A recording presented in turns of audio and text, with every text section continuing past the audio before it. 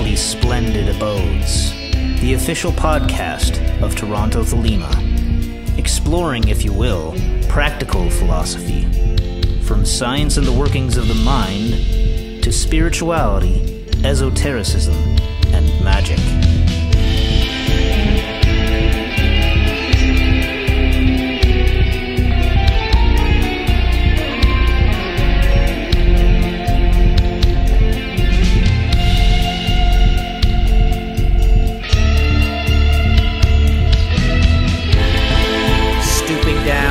My wings, I came into the darkly splendid abodes. To quote Crowley, Hume said that causal connection was not merely unprovable but unthinkable. And in shallower waters still, one cannot assign a true reason why water should flow downhill or sugar tastes sweet in the mouth. We'll take our first deep dive into David Hume's inquiry into human understanding to learn more about his take on causal connection.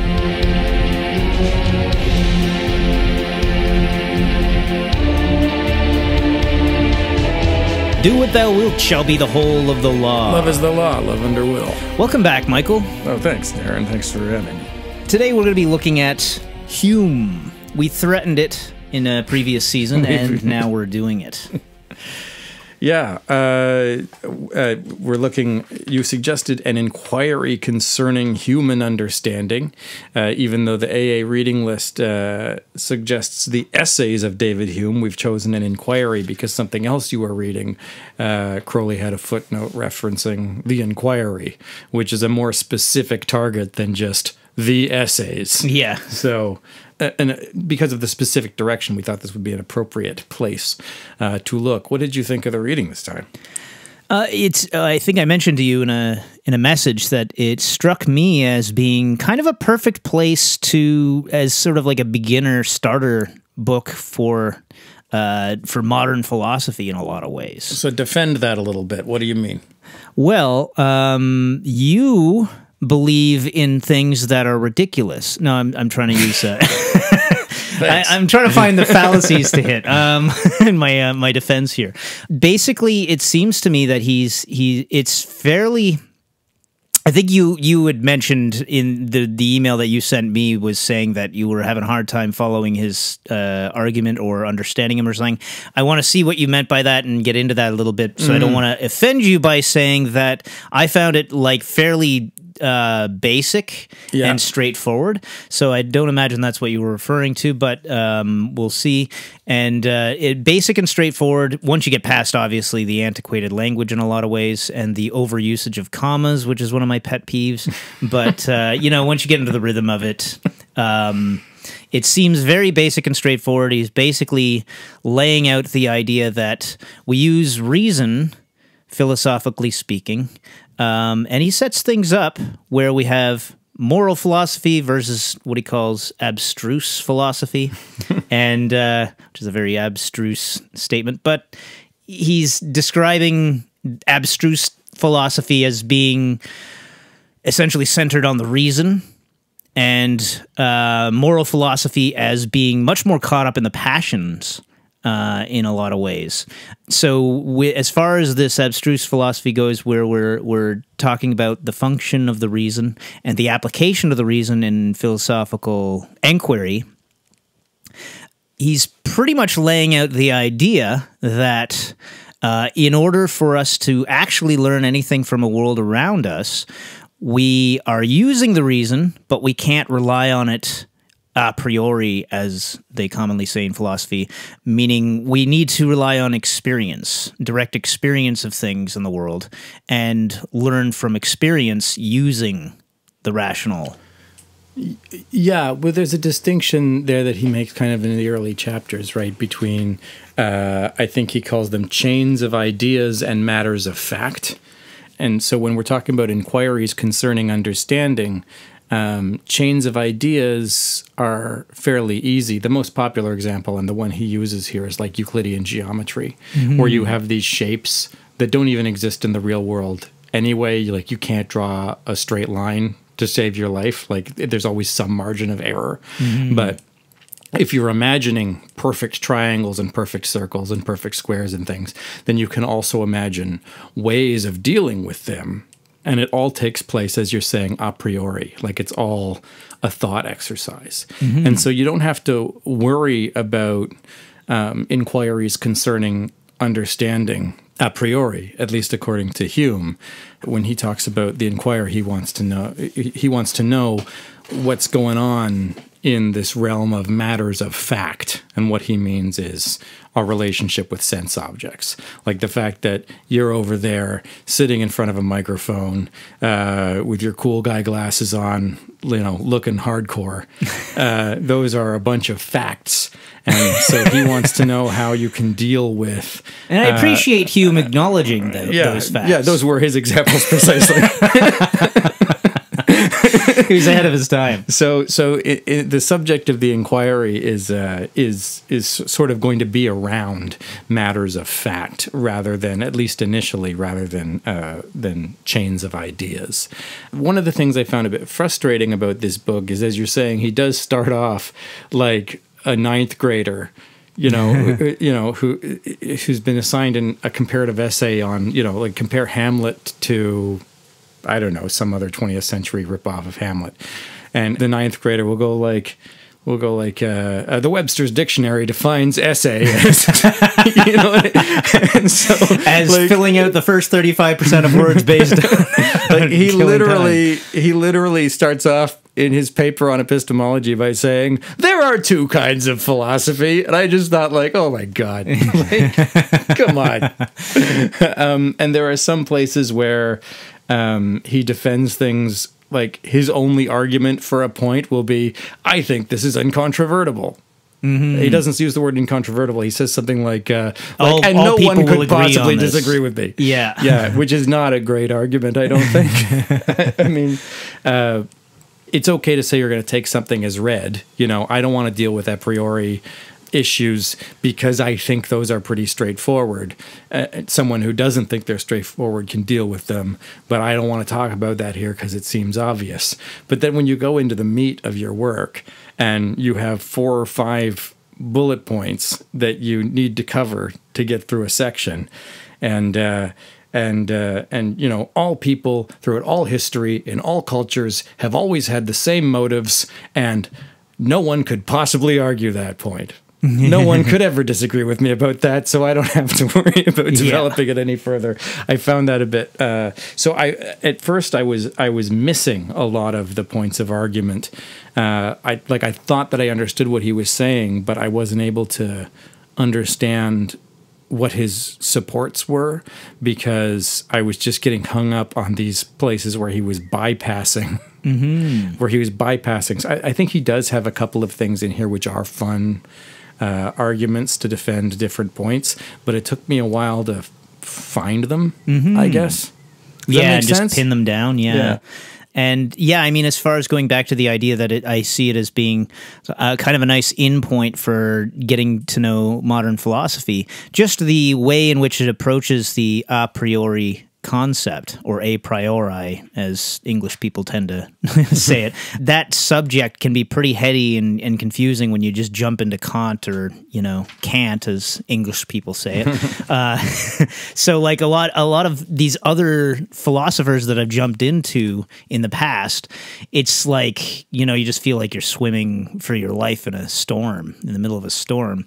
Uh, but that again is probably because I'm an uneducated, uncouth person who uh, didn't go through any of the academic studies that uh, you know a lot of people would be assumed to have taken for this type of subject matter when we get into the really deep academic terminologies and whatnot. Yeah, I think that's a good point. The the conceit of our podcast has always been that you and I aren't actually experts, and uh, that we can pick up a piece of text sometimes when we've never read, sometimes when we haven't read in a while, and think about it carefully, and then have kind of a a, a discussion that's hopefully meaningful, uh, perhaps demonstrating to others that they would be capable of doing similar things. Like my pathos here is that it's oh, that the that the primary source texts for Thelema aren't actually that inaccessible, and that even when they are difficult, people can still address them and get something out of them. And uh, um, and as it turns out, 11 years of study in a particular uh, area, regardless of you know the conceit of your radio show actually does give you a background for understanding the material because picking this up uh, this this piece of material up to for something in which I actually am a virgin you know mm. like uh, I, have read very little ph- philosophical work and uh, and no David Hume. Uh, it, it was more challenging to get through the layers of this so maybe it made me more empathetic to people who are uh, suffering from Crowley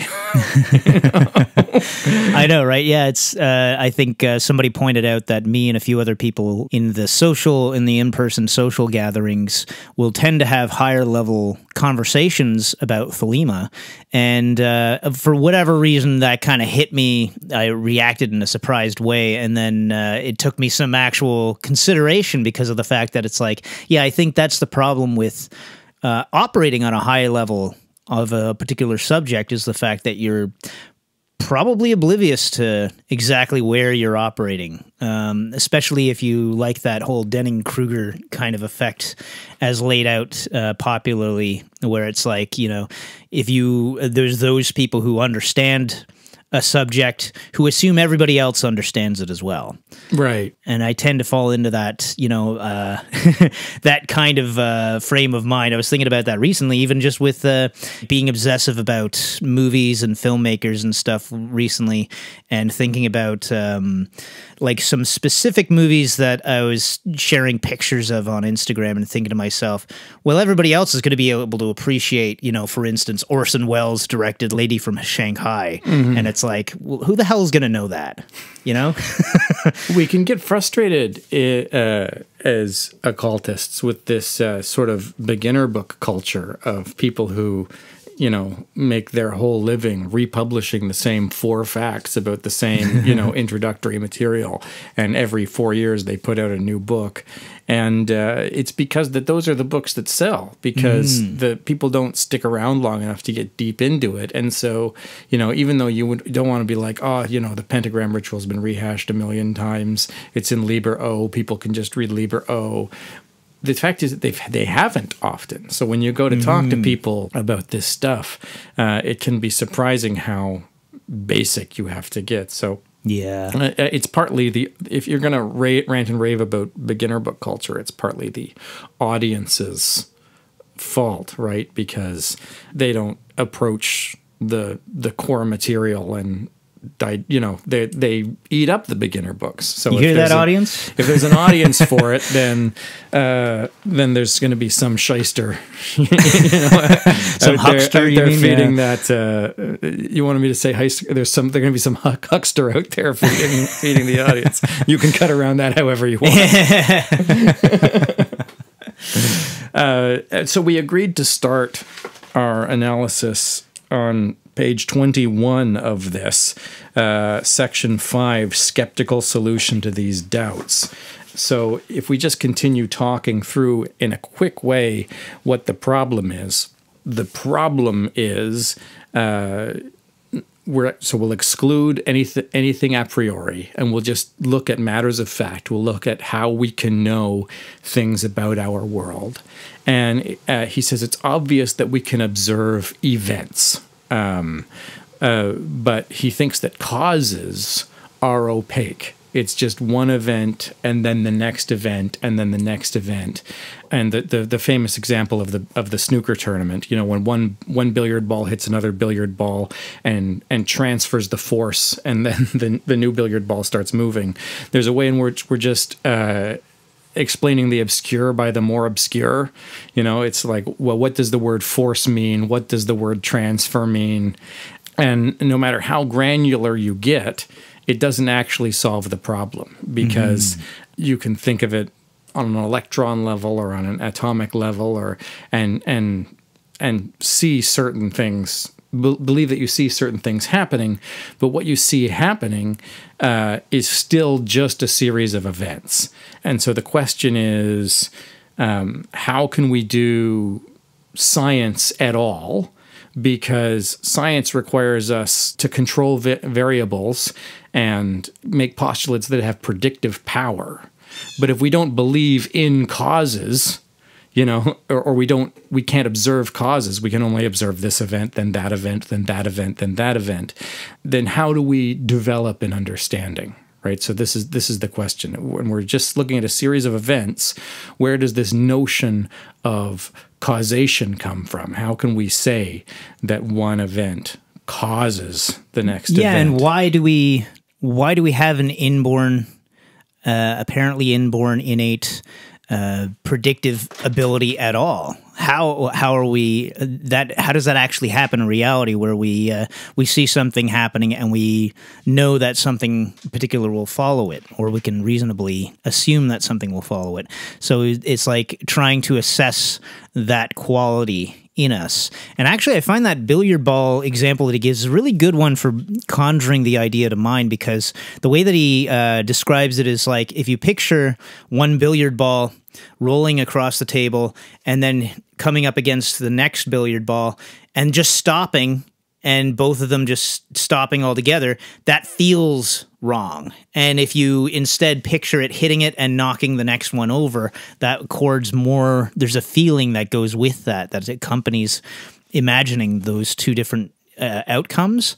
So there's a, uh, because of that intrinsic feeling like there's a truthfulness to the transfer of force as a predictive quality uh, that happens in us uh, he he sort of asked the question of like, well, uh, what's the difference? Why do we end up with that difference? How does that become? He ends up with the uh, using the argument that that be that is because of custom, as he puts it. That's right. So that's what I was going to say. In chapter four, he says the kinds of things that you're saying, but in chapter three, he says it's uh, it's equally reasonable to imagine that both balls would just stop, that one ball would fly straight up into the yeah. air.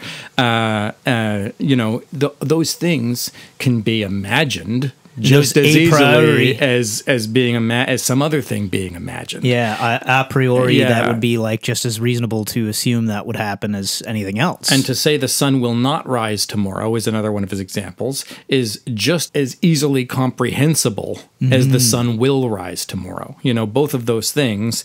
I, when I say the words, you understand what I'm saying. So what he's trying to illustrate is that it's not an a priori faculty that that that mm-hmm. that that teaches us how objects move and how one thing's caused to be another thing.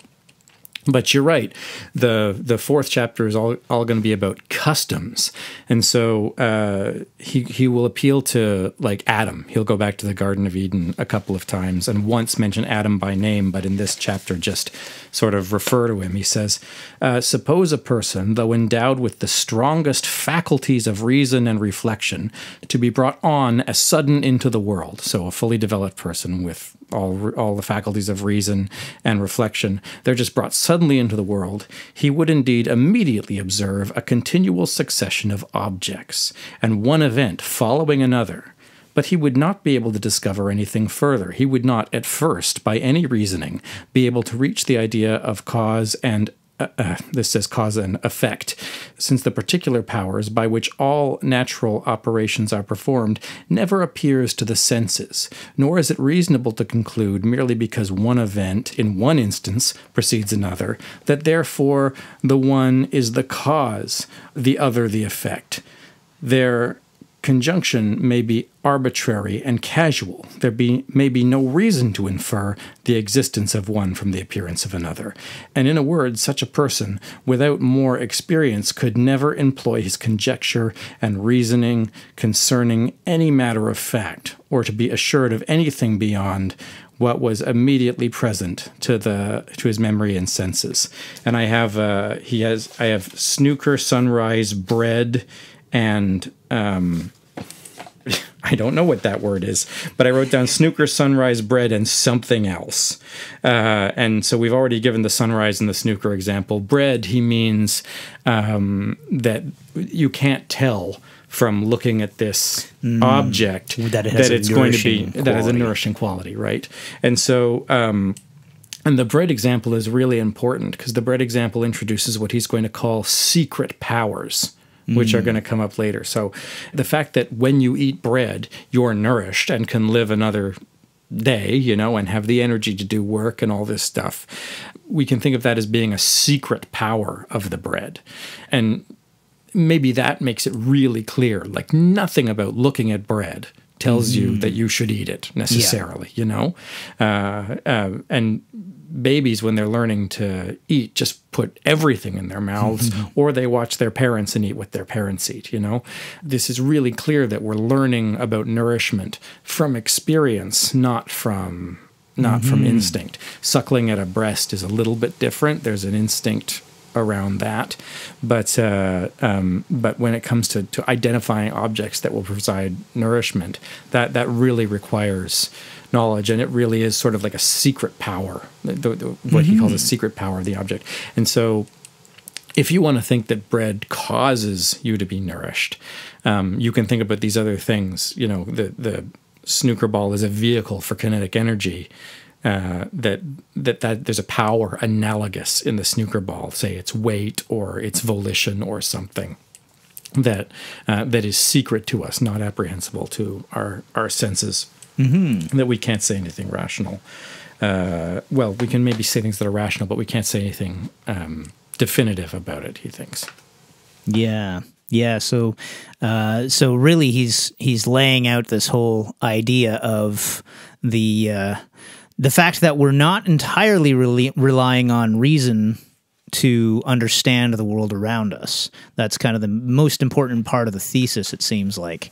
Uh, and it seemed like he was getting onto something interesting to me there with that subject of like this idea of, I mean, he's putting it as secret powers, which is a little bit of, um, uh, it's just a difficult subject because of the fact that it's like, it's what's not apparent from your direct sensory data and it's uh, not apparent from any a priori reasoning or anything like that. Uh, so it's something that you have to learn by experience, and that's what he's getting at for the overall the piece here. Um, but that idea again, like pick, using the billiard ball thing, for instance, uh, the feeling that's more immediate with the expectation of the transference of energy, so that you see the the ball hitting the other ball and the other ball reacting to that, uh, as opposed to the ball hitting the other ball and both of them immediately becoming static, as if it was like a pause on a video or something like that. Uh, the the feeling difference uh, says to me that uh, it's like you're being imprinted. Like uh, you know when you when you have an experience of something you're imprinted uh, with a tendency to react to the same with the expectation that you're going to end up with the same thing. And that seems like an evolutionary thing where it's like that's the most reasonable thing to possibly predict is that you know certain circumstances are going to have the same results. And obviously, that's not always going to be a perfect um, thing to go by, but that's why we have so many more complicating things going on right up to and including the reason. Uh, so that that you could kind of like see that as being like an innate thing in life forms so like in other animals as well where they just naturally when they first experience something for the first time it imprints something so that there's a natural tendency to react to other situations in the same way. He's gonna um, talk about this a little later the way in which sort of like objects appear to the mind or something like that. And and yes leave a leave a record that you sort of return to and return to. And the the more objects appear to the mind the more salient they become. And so so so yeah it it he's trying to he's describing learning by observation but in in this sort of spooky way where he talks about creating images of objects. Mm-hmm. In, Basically, in trying to get mind, around yeah. the fact that we're not reasoning these things out. You mm-hmm. know, we're not we're not following a methodical process of reasoning to understand that the ball will knock the other ball mm -hmm. and the the food will contain nourishment and that sort of thing. We're not learning these things by that process of reasoning. No, but he's trying to buy us back and eventually will buy us back um, the the capacity to, to apply reason. uh, um, but we're still we're still not there. We're still living in this place where what are you know we don't what are causes we can't observe causes and that's a big problem still mm. uh, um, and here's what we're talking about uh, suppose again that uh, Adam has acquired more experience and has lived so long in the world as to have observed familiar objects or events to be constantly conjoined together. What is the consequence of this experience? He immediately infers the existence of one object from the appearance of another. Yet he has not, by all his experience, acquired any knowledge of the secret power by which one produces the other, nor is it by any process of reasoning is he engaged to draw this inference.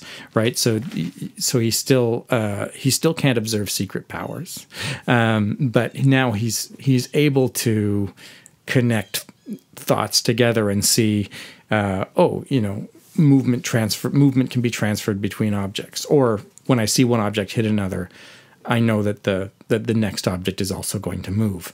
He, you know, and the way you have to parse this is a little bit specific because you're not saying one object is causing the next one to move or that the force is transferred, but you see one object hit the other and the next one move. Mm-hmm. And it's really, really important that no matter how to, to, so I'm going to express it again. No matter how granular you get, you still aren't seeing causes, mm-hmm. right? Like the the secret power of bread to nourish the body. We can say, okay, so now we know that uh, pancreatic juice uh, with pepsin and all these other enzymes is good for dissolving meat, and that in the liver the proteins are broken down and reassembled to become the proteins the body most need, and that those can be passed to cells to that can use them as building. Well, sure, we all know create, that, yeah. Create, you know, like, but but it's it's not even though it looks like um, uh, an explanation of how um, uh,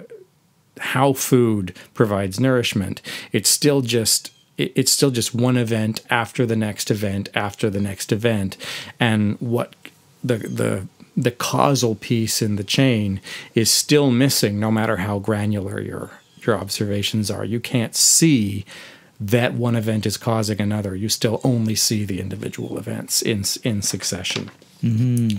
Um, and so the question is, how has Adam acquired this predictive power that he can now, you know, uh, um, see that uh, all the fruits of the garden, except for the fruit fruit of the knowledge of good and evil, are good to nourish the body. And how is it that he can see that like stones falling down rocks will you know, stone that a stone being thrown at your child will, you know, do the first murder or whatever. Uh, um, and you, so this is the, he'll introduce the word um, custom. He says, the principle is custom or habit.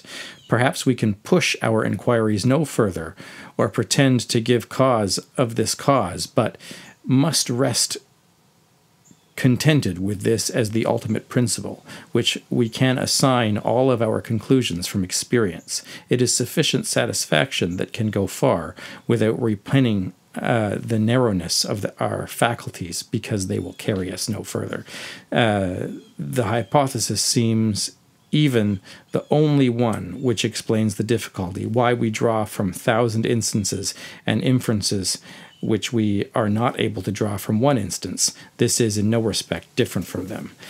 When he says custom, he means just like, you know, Canadians take off their shoes when they go into the house and Americans often don't take off their shoes when they go into this house. There's a there's a custom. Uh, people become accustomed to doing particular behaviors in particular circumstances people also become accustomed to the custom that objects have of behaving in a particular way in particular circumstances. So the sun rises every morning because that's its custom. And if one morning it doesn't rise, um, that will be an interesting anomaly. But it's what we're observing is not causes. Uh, we're but we're observing sort of tendencies to behave in a in a specific way, and so um, and, he'll call these tendencies customs, and so you can you can see these customs, and that can begin to give you a way of of of doing science, right? Like that's the mystery: is if we can't observe causes, how can we control variables? How can we uh, make make predictions that have how can we make theories that have predictive power? Well, we can work with these things that are called customs, the habit of one uh, mm-hmm. uh, of, of one object to interact. He also another. comes to settle on the word belief mm. uh, in the same context as well, uh, which is an interesting um, elaboration on it because it feels like he's not.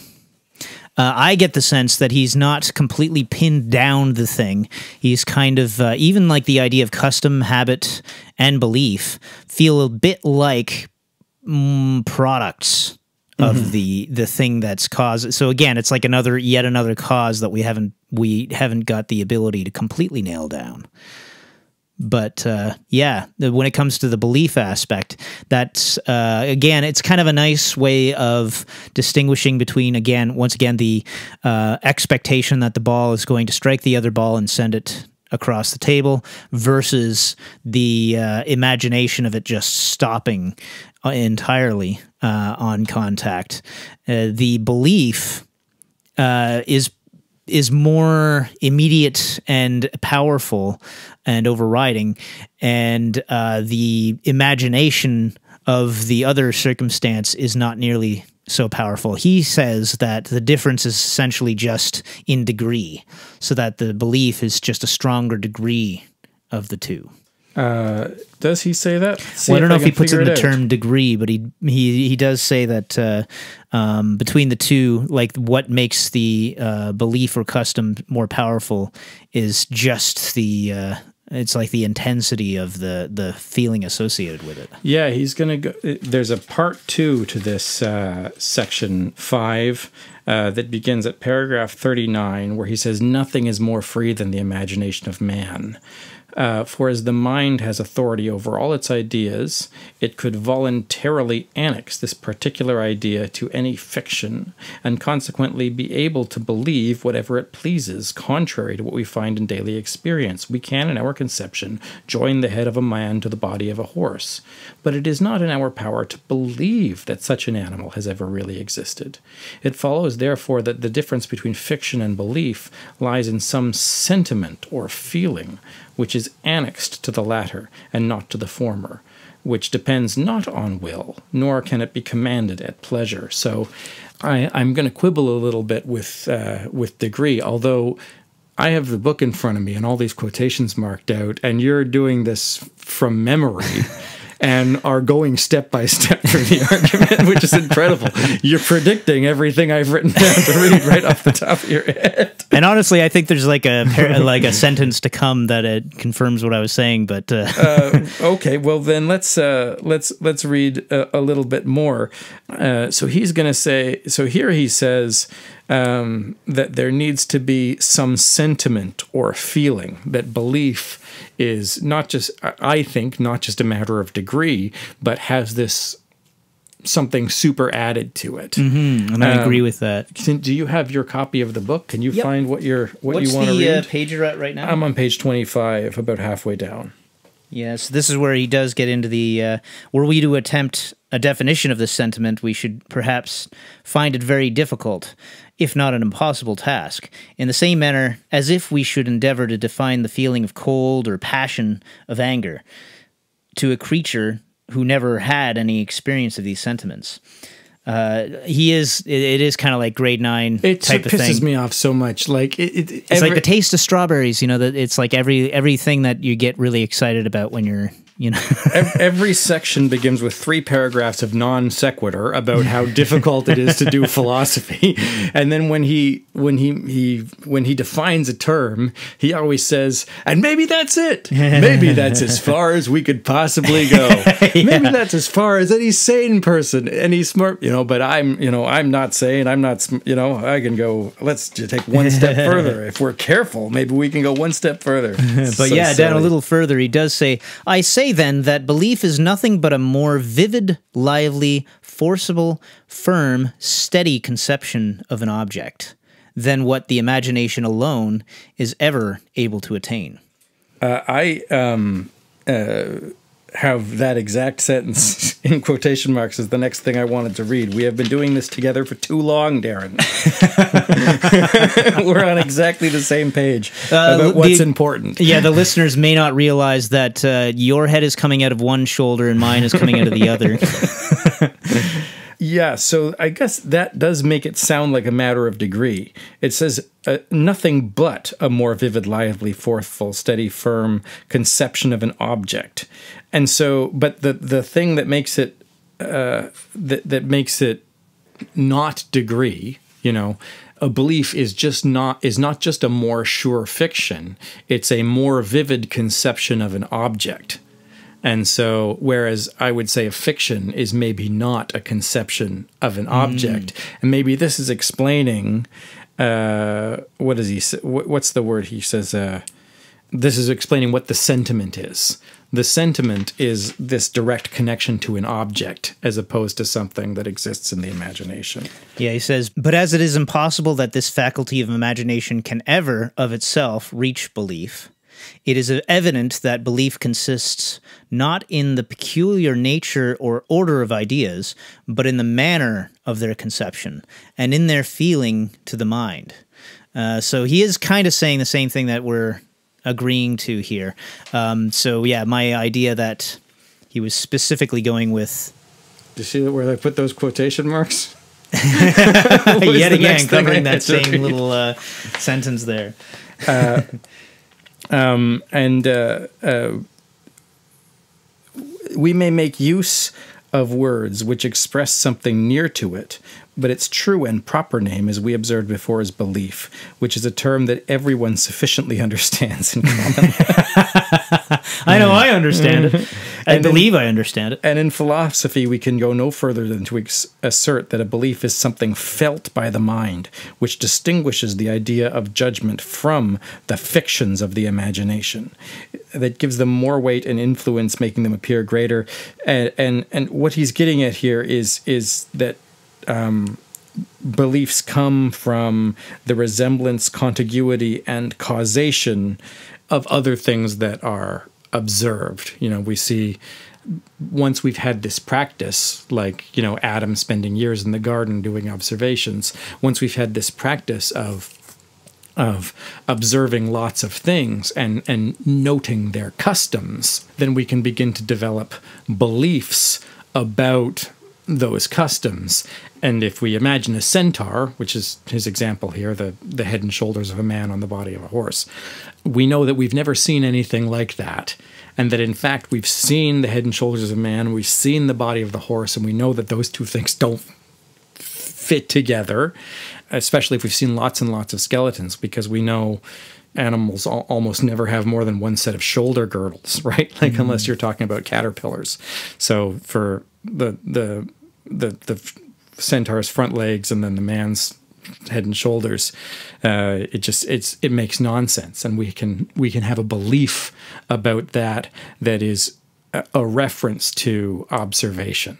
So this is really the scientific method carefully described right? Like all our all our beliefs have to reference our observations of dis- of these discrete objects. So even if we don't have causation, we still have custom, we have observations of discrete objects, and we know that we can't form beliefs in the absence of those things. We can, you know, nothing is more free than the imagination of man, he says. It's just one of the nicest things he says in the the whole the whole story. It's fun.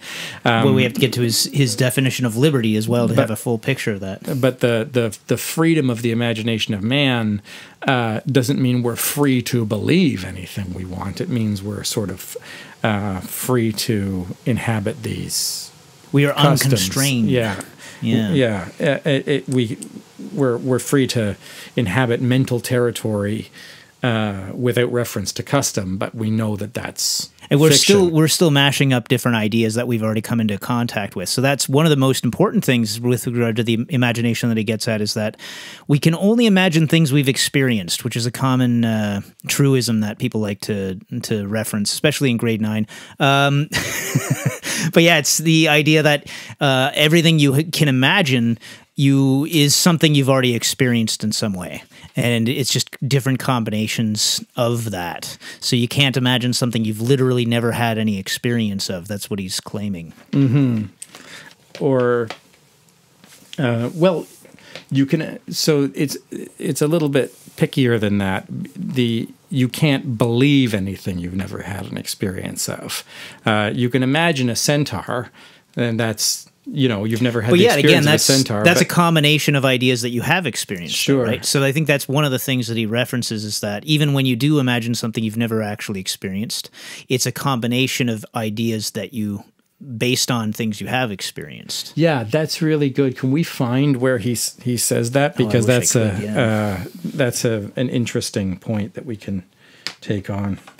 Um, so I'm looking around for what what I was referring to, and I'm not. Uh, it might be a little bit too, and because I don't have it labeled out and specific where to find it, um, it might be a little bit too clumsy to find it. But um, it, I'm noticing one passage that's kind of fun. Uh, where he's saying the ceremonies of the Roman Catholic religion may be considered as instances of the same nature. The devotees of that superstition usually plead in excuse for the mummeries with which they are abraded, that they feel the good effect of those external motions and postures and actions in enlivening their devotion and quickening their fervor, which otherwise would decay if directed entirely to distant and immaterial objects. We shadow out the objects of our faith, say they, in sensible types and images, and render them more present to us by the immediate presence of these types than it is possible for us to do merely by an intellectual view and contemplation.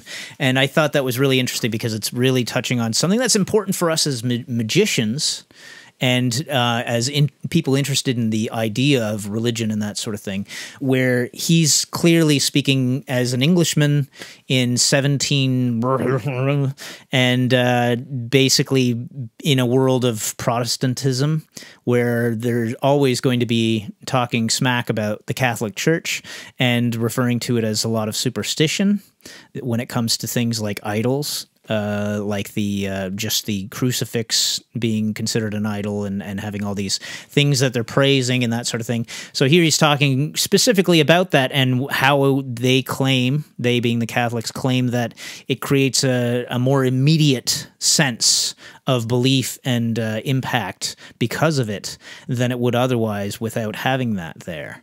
I think it's not just uh, the difference between Protestantism and Catholicism. I think it's sort of like a post post not post Reformation, like a post Enlightenment thing. Uh, one of the reasons Crowley says to look at these essays again, not the inquiries, but the essays, um, is uh, that they're masterpieces of skepticism in prose.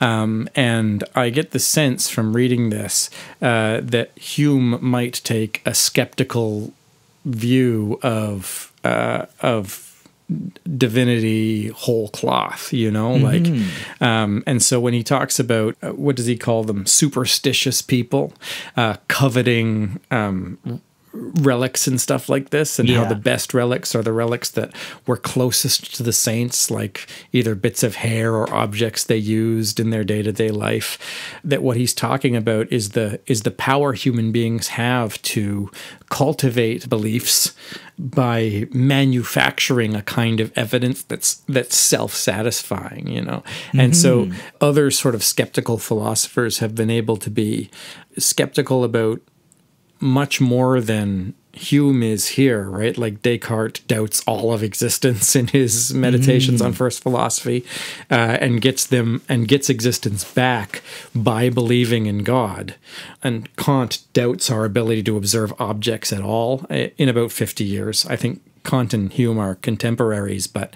Uh, um, Kant might be reading this and and and producing his work uh, partly in response because I think they're, I, I think the prolegomena to any future metaphysics, which seems to be covering some of the same material, uh, happens in about forty uh, about forty years from now, but. Hume ad- admits that we can observe objects, and uh, and and doesn't isn't as radically skeptical about that as as some others. But he seems to be skeptical about what our relationship to the divine looks like and and there's different places where he's not sure how to address This is a really important his picture aspect like of this that, right? paper. Yeah, because it's here he's going to be uh, like, I think I get the I get the sense that he's either quite capable of destroying religion by uh, one fell swoop of his uh, his interpretation of reason and and the skeptical process. Uh, on the one hand, but um, it's tough to tell if he's really sincere about the way that he describes himself as basically like his way out of it for Christianity. He uses pagan uh, miracles later on and uh, pagan beliefs and things uh, as superstitions and miracles as poor witnesses or you know testimony that witness te- testimony that you can't rely on and that sort of thing. Uh, he uses all these things to uh, show that our reason can destroy uh, these things as being supposed evidence of anything uh, which is just as easily applied to Christianity, but he tr- he tries to sidestep that by using the idea that Christianity is based on faith and not on this uh, process of reasoning, uh, which to me just smacks of you know weaseling out of uh, having to deal with the situation. But it could just as easily be that he is trying to sow the seeds of that skepticism to undermine uh, the religious doctrines and whatnot without being overt about it because it's not it's still you know in a in an age where it's it's problematic potentially for someone to just take on uh, the church uh, full force and that sort of thing. We're going to get to the hard problem of evil eventually, and in a chapter that I've uh, marked out far fewer quotations on, uh, but he has a particular take on the hard problem of evil, uh, which uh, makes it difficult for us to. Uh, uh, relate to God in a in a comfortable way, you know, and he's he's obviously worried about this. So, yeah Um, but here, what we have is beliefs being ideas that reference experience, that reference objects and customs. And so that allows us to do, hopefully, some scientific work. But it's also interesting the way in which we can be. We can kind of deceive ourselves and, and create the conditions of belief by building objects that relate to our fictions and and sort of reinforce those ideas by reference to some material object. And so like i'm thinking about crowley saying that every magician should do a eucharist every day you know take an object symbolic of the whole universe make it god and then consume it. Um, this is a direct physical relationship with God, you know, like we're like we take the object, we make it God, and then we put our we nur- we are nourished by it. Literally, we put ourselves in this uh, in in this very visceral physical relationship with it. Also, uh, consuming something is a way of destroying it, right? So, like we're enacting the zero equals two formula by taking the whole, the the the the whole the symbolic of the whole creation and God, and then destroying both ourselves and the object in the act of Eucharist by consuming it. Um, and so uh, there's this there's this way of of vivifying our our faith and our practice through these um, uh, by deliberately enacting these enacting these rituals. And he also talks about how, like, you know, if you're trying to think of a friend who's away on vacation, it's better if you have a photograph, or it, probably not a photograph in 50, in 1750, but like a painting of them or some image of them. Yeah. Or, you know, he says it's easier to imagine home when you're closer to home because you're more surrounded by things that remind you of home. Whereas if you go completely to a different country or something like that, the things around you uh, won't be as as vivid, and so they won't feed your belief in home as much.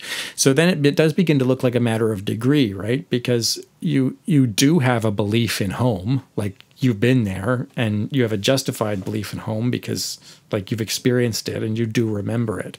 Um, but by being away from home, um, uh, you see fewer of the objects of home and it and you, it, it comes less vividly to mind so it becomes almost more akin to one of these fictions you know Yeah. there's so there there is a I, I still think it's a, a, a qualitative, not a quantitative difference, but it's muddied by this suggestion that um, that we grow distant from things without direct appeal to them. Yeah, it make it puts me in mind of the idea of nostalgia, for instance, and the uh, the idea that, say, for instance, particularly in the case of something that you haven't sensed in a while, like say, for instance, something that you uh, a particular scent that you haven't smelt in a long time, usually.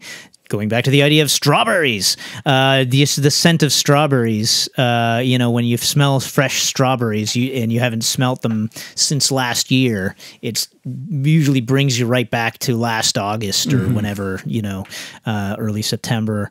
Um, or if you haven't experienced something, some particular environment since you were a little kid, maybe returning to some neighborhood that you grew up in or something like that, and it just slams you back into that place.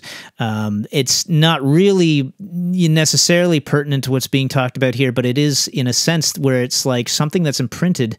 It it kind of alludes to uh, the functioning of the mind.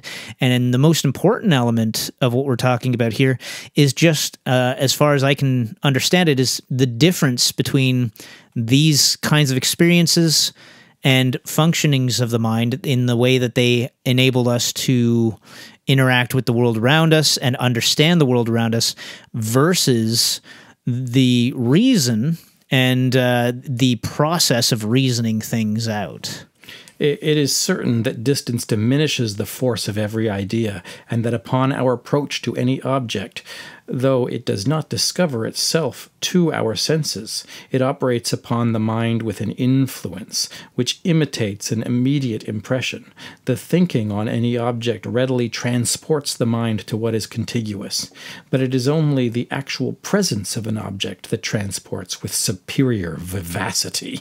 I'm pretty sure I marked that out to read only because I wanted to say vivacity. Nicely done. we should include this, uh, although I thought it would be more important than it is. He doesn't go back to this very often. The way in which objects relate to each other is important, right? He's talking about these customs.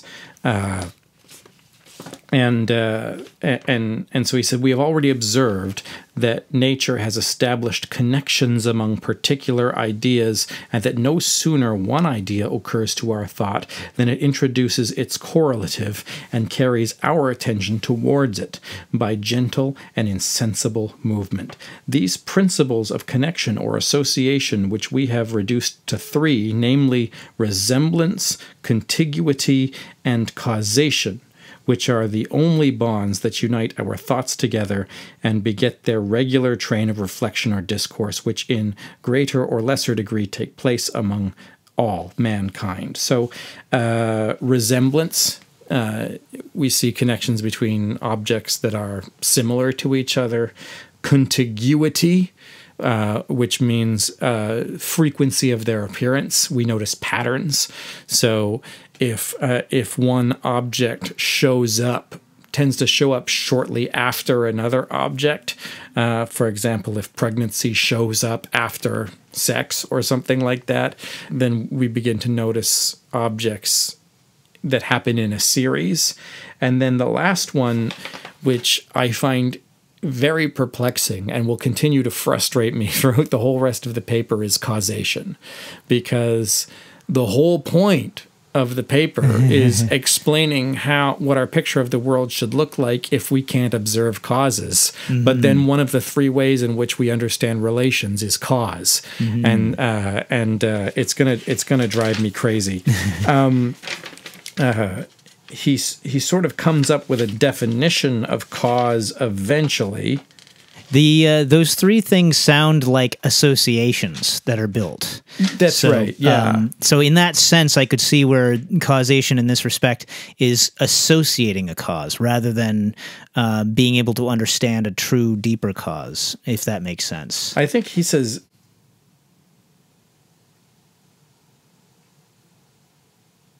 Yeah, maybe you're right.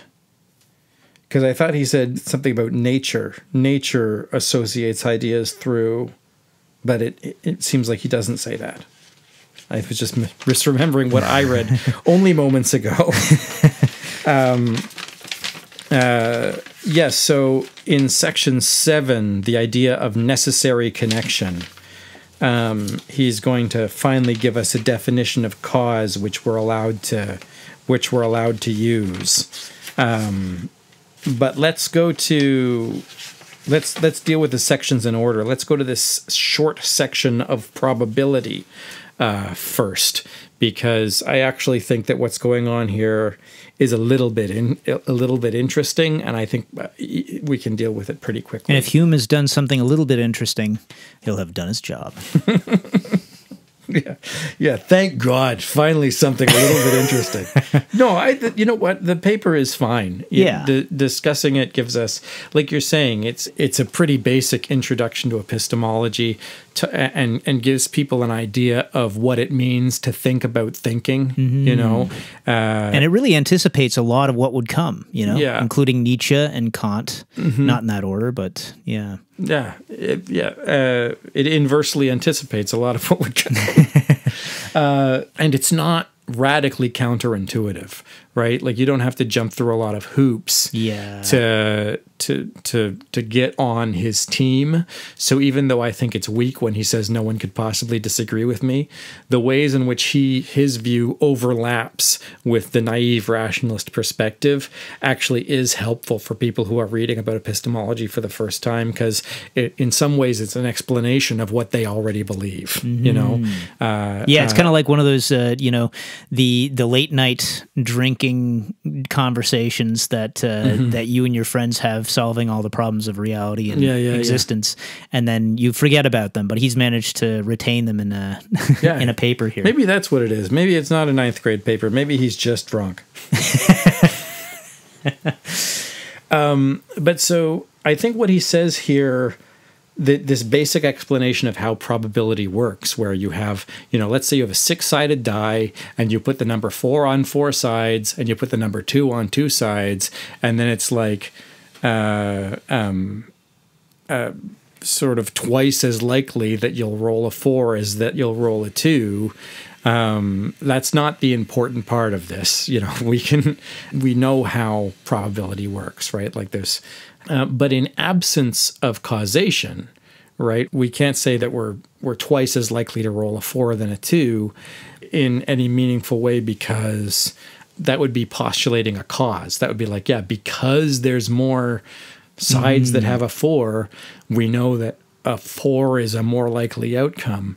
We can't really say that because that's that's too th- that's too much of a causal Yeah. relationship. So essentially, like as if the the effects are not connected to any kind of cause, then they are completely arbitrary in relation to Uh, whatever came before them. But he says, but finding a greater number of sides concur in one event than the other, the mind is carried more frequently to that event and meets it oftener. In revolving the various possibilities or chances on which the ultimate results depend, this concurrence of several views in one particular event begets immediately by an inexplicable contrivance of nature the sentiment of belief and gives that event the advantage over its antagonists, which is supposed by a similar number of views and recurs less frequently to the mind.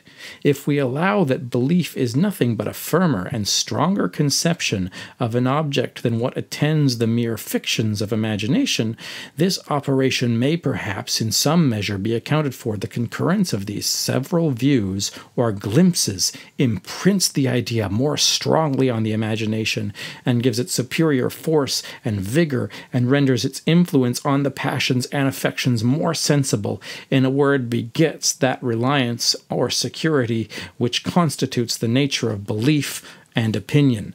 So, when you're looking at the die, you know, and you're looking at all the sides and counting them up to decide what the probabilities are, what you're doing is seeing the number four four times and seeing the number two two times.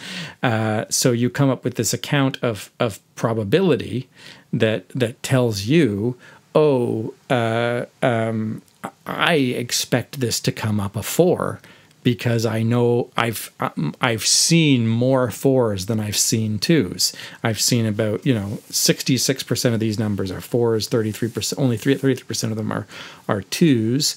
So my prediction is more likely going to be a four because I've seen fours more often, uh, and so it's it's not about the the fact that the the the the more faces on the die cause a more likely outcome. So it's not like talking about statistical analysis. It's, talking about just that, the imprinting It's just that you belief. you you feel you have this belief Mm-hmm. eh, that that uh, And that might have been the uh, more the sentence that drove me to associate uh, the idea of degree being Mm-hmm. somehow caught up in belief in his uh, estimation. So Yeah, it's it's it's sort of like it's so so the way we do probability is by by believing more strongly in one possible outcome than another. And the way we develop those beliefs is by looking at all the options and seeing one option more times. Uh, uh, you know, I you know, I uh and, and every time I play the lottery and lose, you know, I'm more likely to expect to, to be less excited about seeing the draw. But also, if I just were to put all the numbers in front of me, like every single possible number, and someone says, you know, only one of those is going to come up, I can see one and then I can see the others, and I can imagine, you know, uh, it's like, oh, well, these, the, this is the book full of losing numbers, and this Oh is my the god! one winning number. Could you imagine if they actually did that? Like uh, when people go to play the lottery, they give them all the possible numbers. If it was actually possible to even have them all in front of you, Yeah, which it's not, And you just tick one. and you're You like put your- supposed to you flip through one. the book and put your initials. Next People would never play the lottery again. So, uh, uh, and so, but it's it's and so it's not like about calculating probability in an a priori way, although you can do that. Um, and it it's it's about how, observing the alternatives and the impression that that makes on your on your mind. So again, just sort of exploring the different ways in which belief and custom uh, here, seemingly maybe belief uh, in service to custom, uh, causing custom to take place, how that kind of uh, how that happens. So now we're moving into section seven. The I sorry, did you want to say anything more about probability? Not especially. No, I think it's pretty straightforward. Mm-hmm. Section seven, the idea of necessary connection. Let me let me look and see if I can remember what this chapter was about. Is this where we finally get our definition of causation? Get that word back into the common lexicon so we can use it. Oh, causation in the lexicon. What about in the etymological dictionary? All right, fine.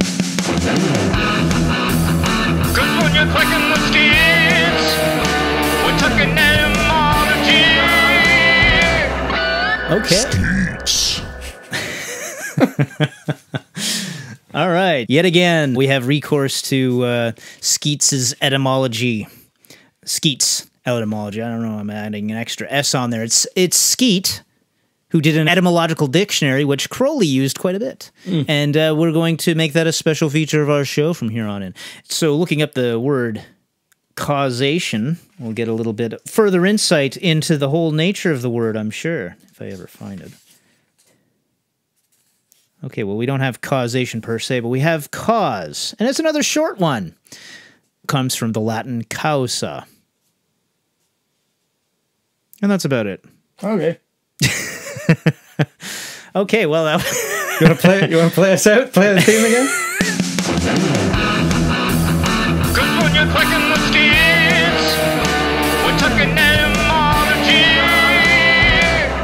etymology. okay. Well, back into the paper. In reality, there is no part of matter that does ever, by its sensible quality, discover any power or energy or give us grounds to imagine that it could produce anything or be followed by any other object which we could demonstrate its effect.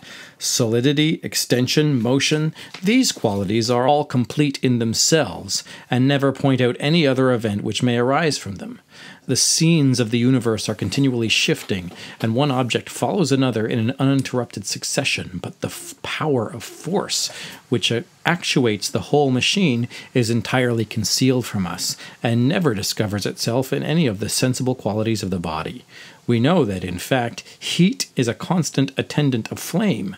But what is the connection between them? We have no room so much as to conjecture or imagine.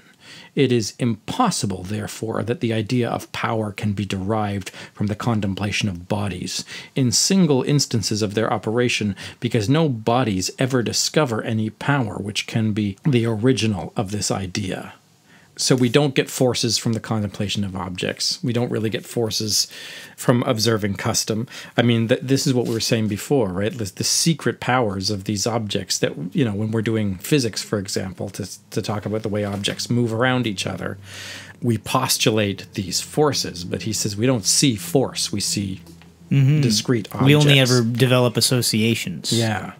And he'll go into a lot of these kinds of ideas of why not? You know mm-hmm. you could you could perfectly well imagine a scenario where the snow came down and was flaming hot or you know any any other weird contrary things that are completely against our actual expectation of events in in reality.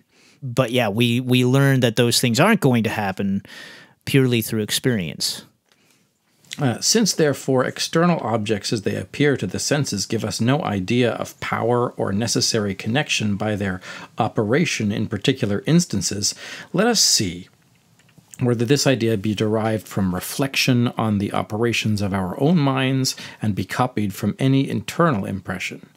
It may be said that we are every moment conscious of internal power, while we feel that by the simple command of our will we can move the organs of the body or direct the faculties of our mind.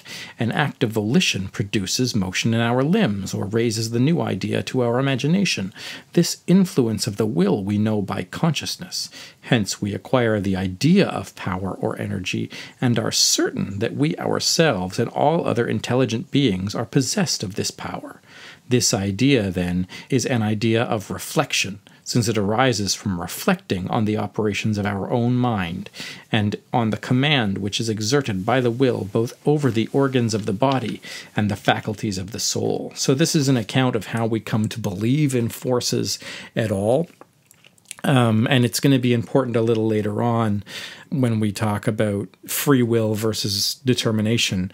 Um, this idea that we can we can observe secret powers in ourselves. You know, we know that that our or we imagine anyway that it's our will that causes our body to move, and so there must be some analogous force that mm-hmm. causes movements in other places. So the we're imagining that you know gravitation, electromagnetic energy, weak nuclear force, strong nuclear force.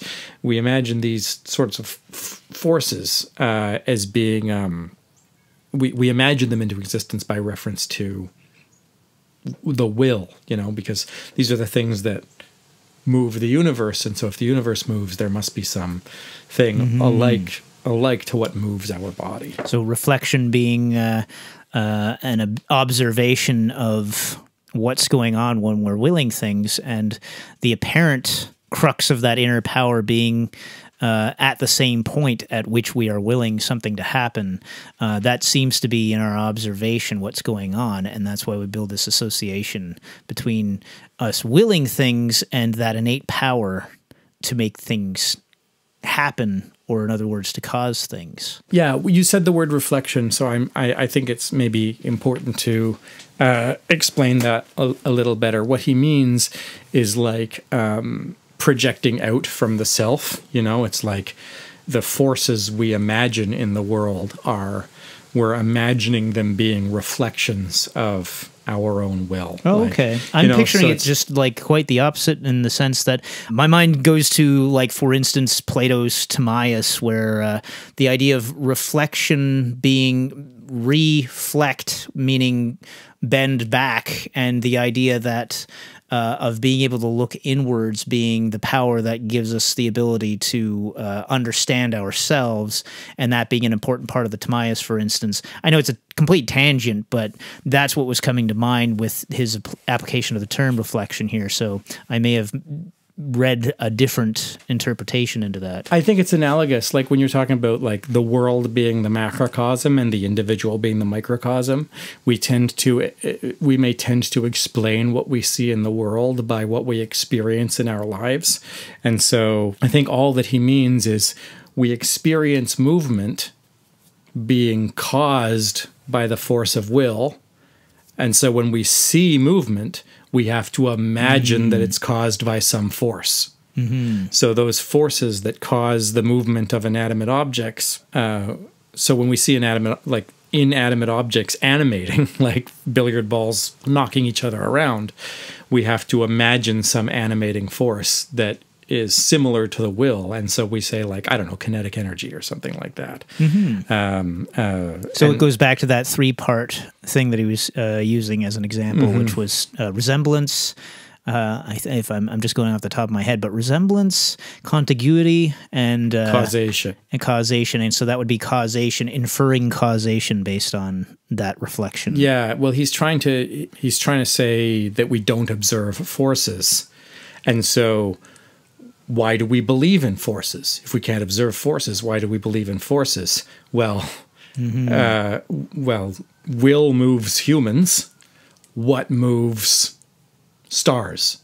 Mm. Some something like will, you know, some. Force. Yeah, and when put that yeah. way, it's kind of it makes sense to think, well, it's the will of God that these things are caused and that sort of thing, to draw that kind of a an association. And then I haven't marked any quotations. I think this was a long chapter with a fairly straightforward resolution. So, and he give he gives a lot of. This is a actually a chapter that's fairly well argued. He's giving a lot of counter examples. A lot of like, well, what if what if what if this is cause? Nope, can't be cause. What if this is cause? Nope, that can't be cause. So I wasn't sure how many of that stuff to include.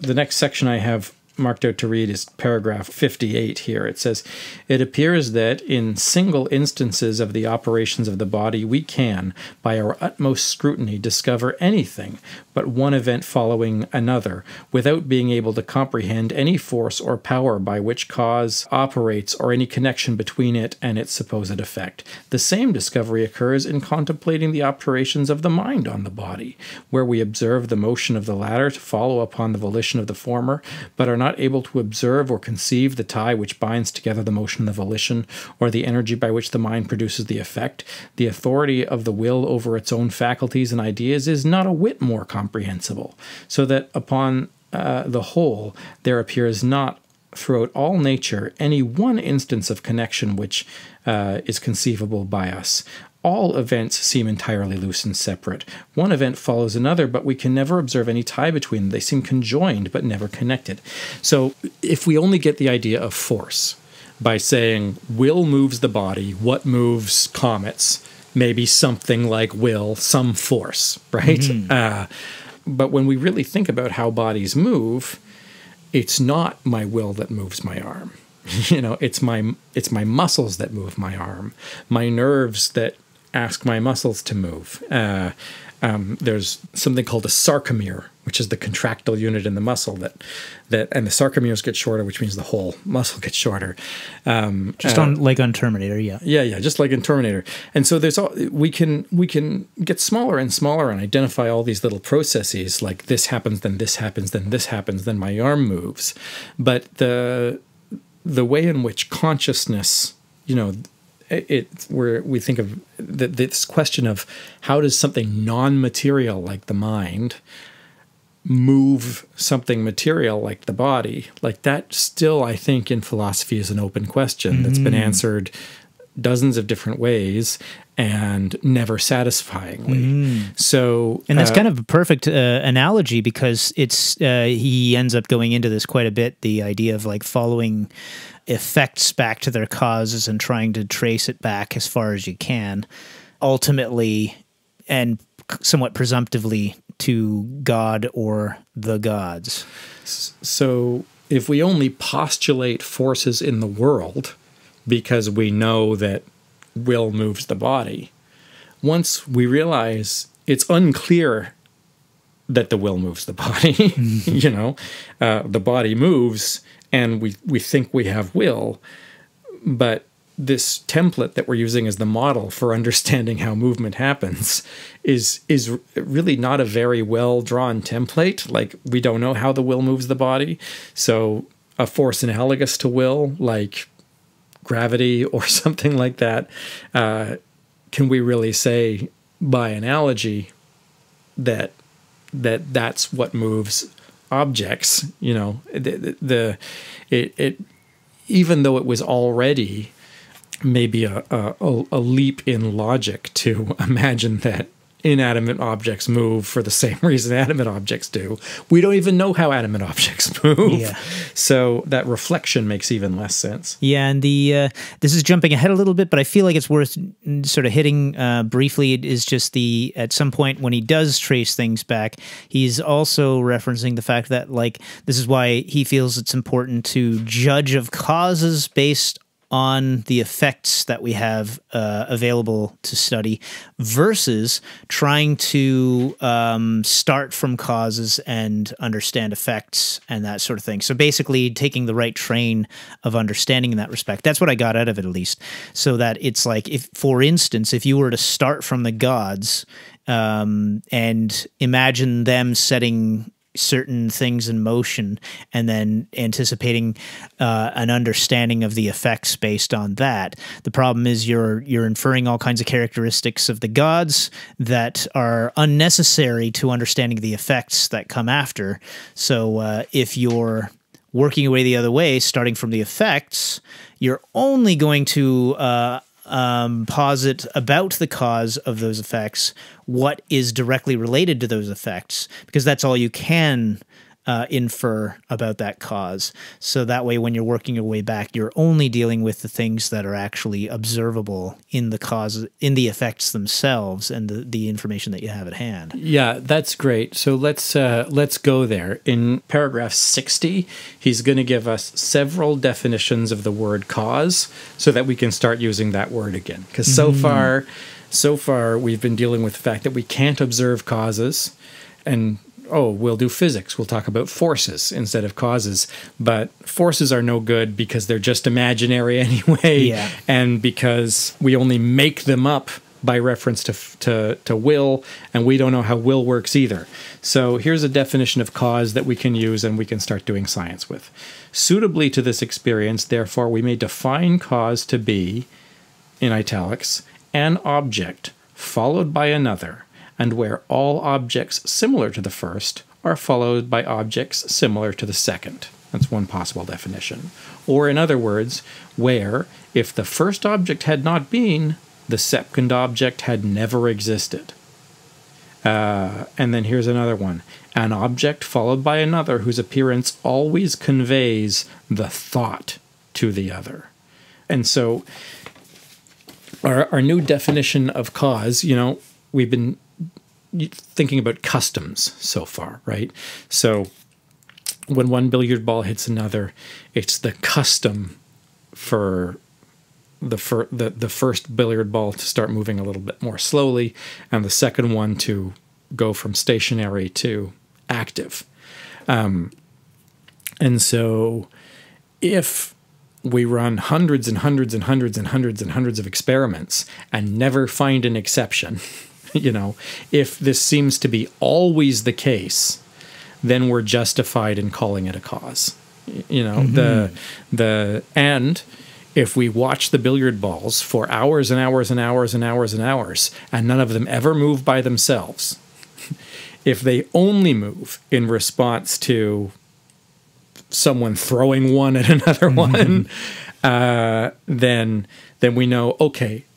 Not only is the movement of billiard balls absolutely sure when they bang into each other, but the non-movement of billiard balls is absolutely sure when they do not bu- bump into each other. They don't move if you don't smash them together. They always move if you do smash them together. So the smashing together of the billiard balls is the cause of the movement of billiard balls, and we can use that that word. So the the two requisite pieces for a definition are like are like when one event always follows another or when one event couldn't possibly happen without the preceding event. And if if those if it satisfies both of those conditions then uh, then then you can call the event caused.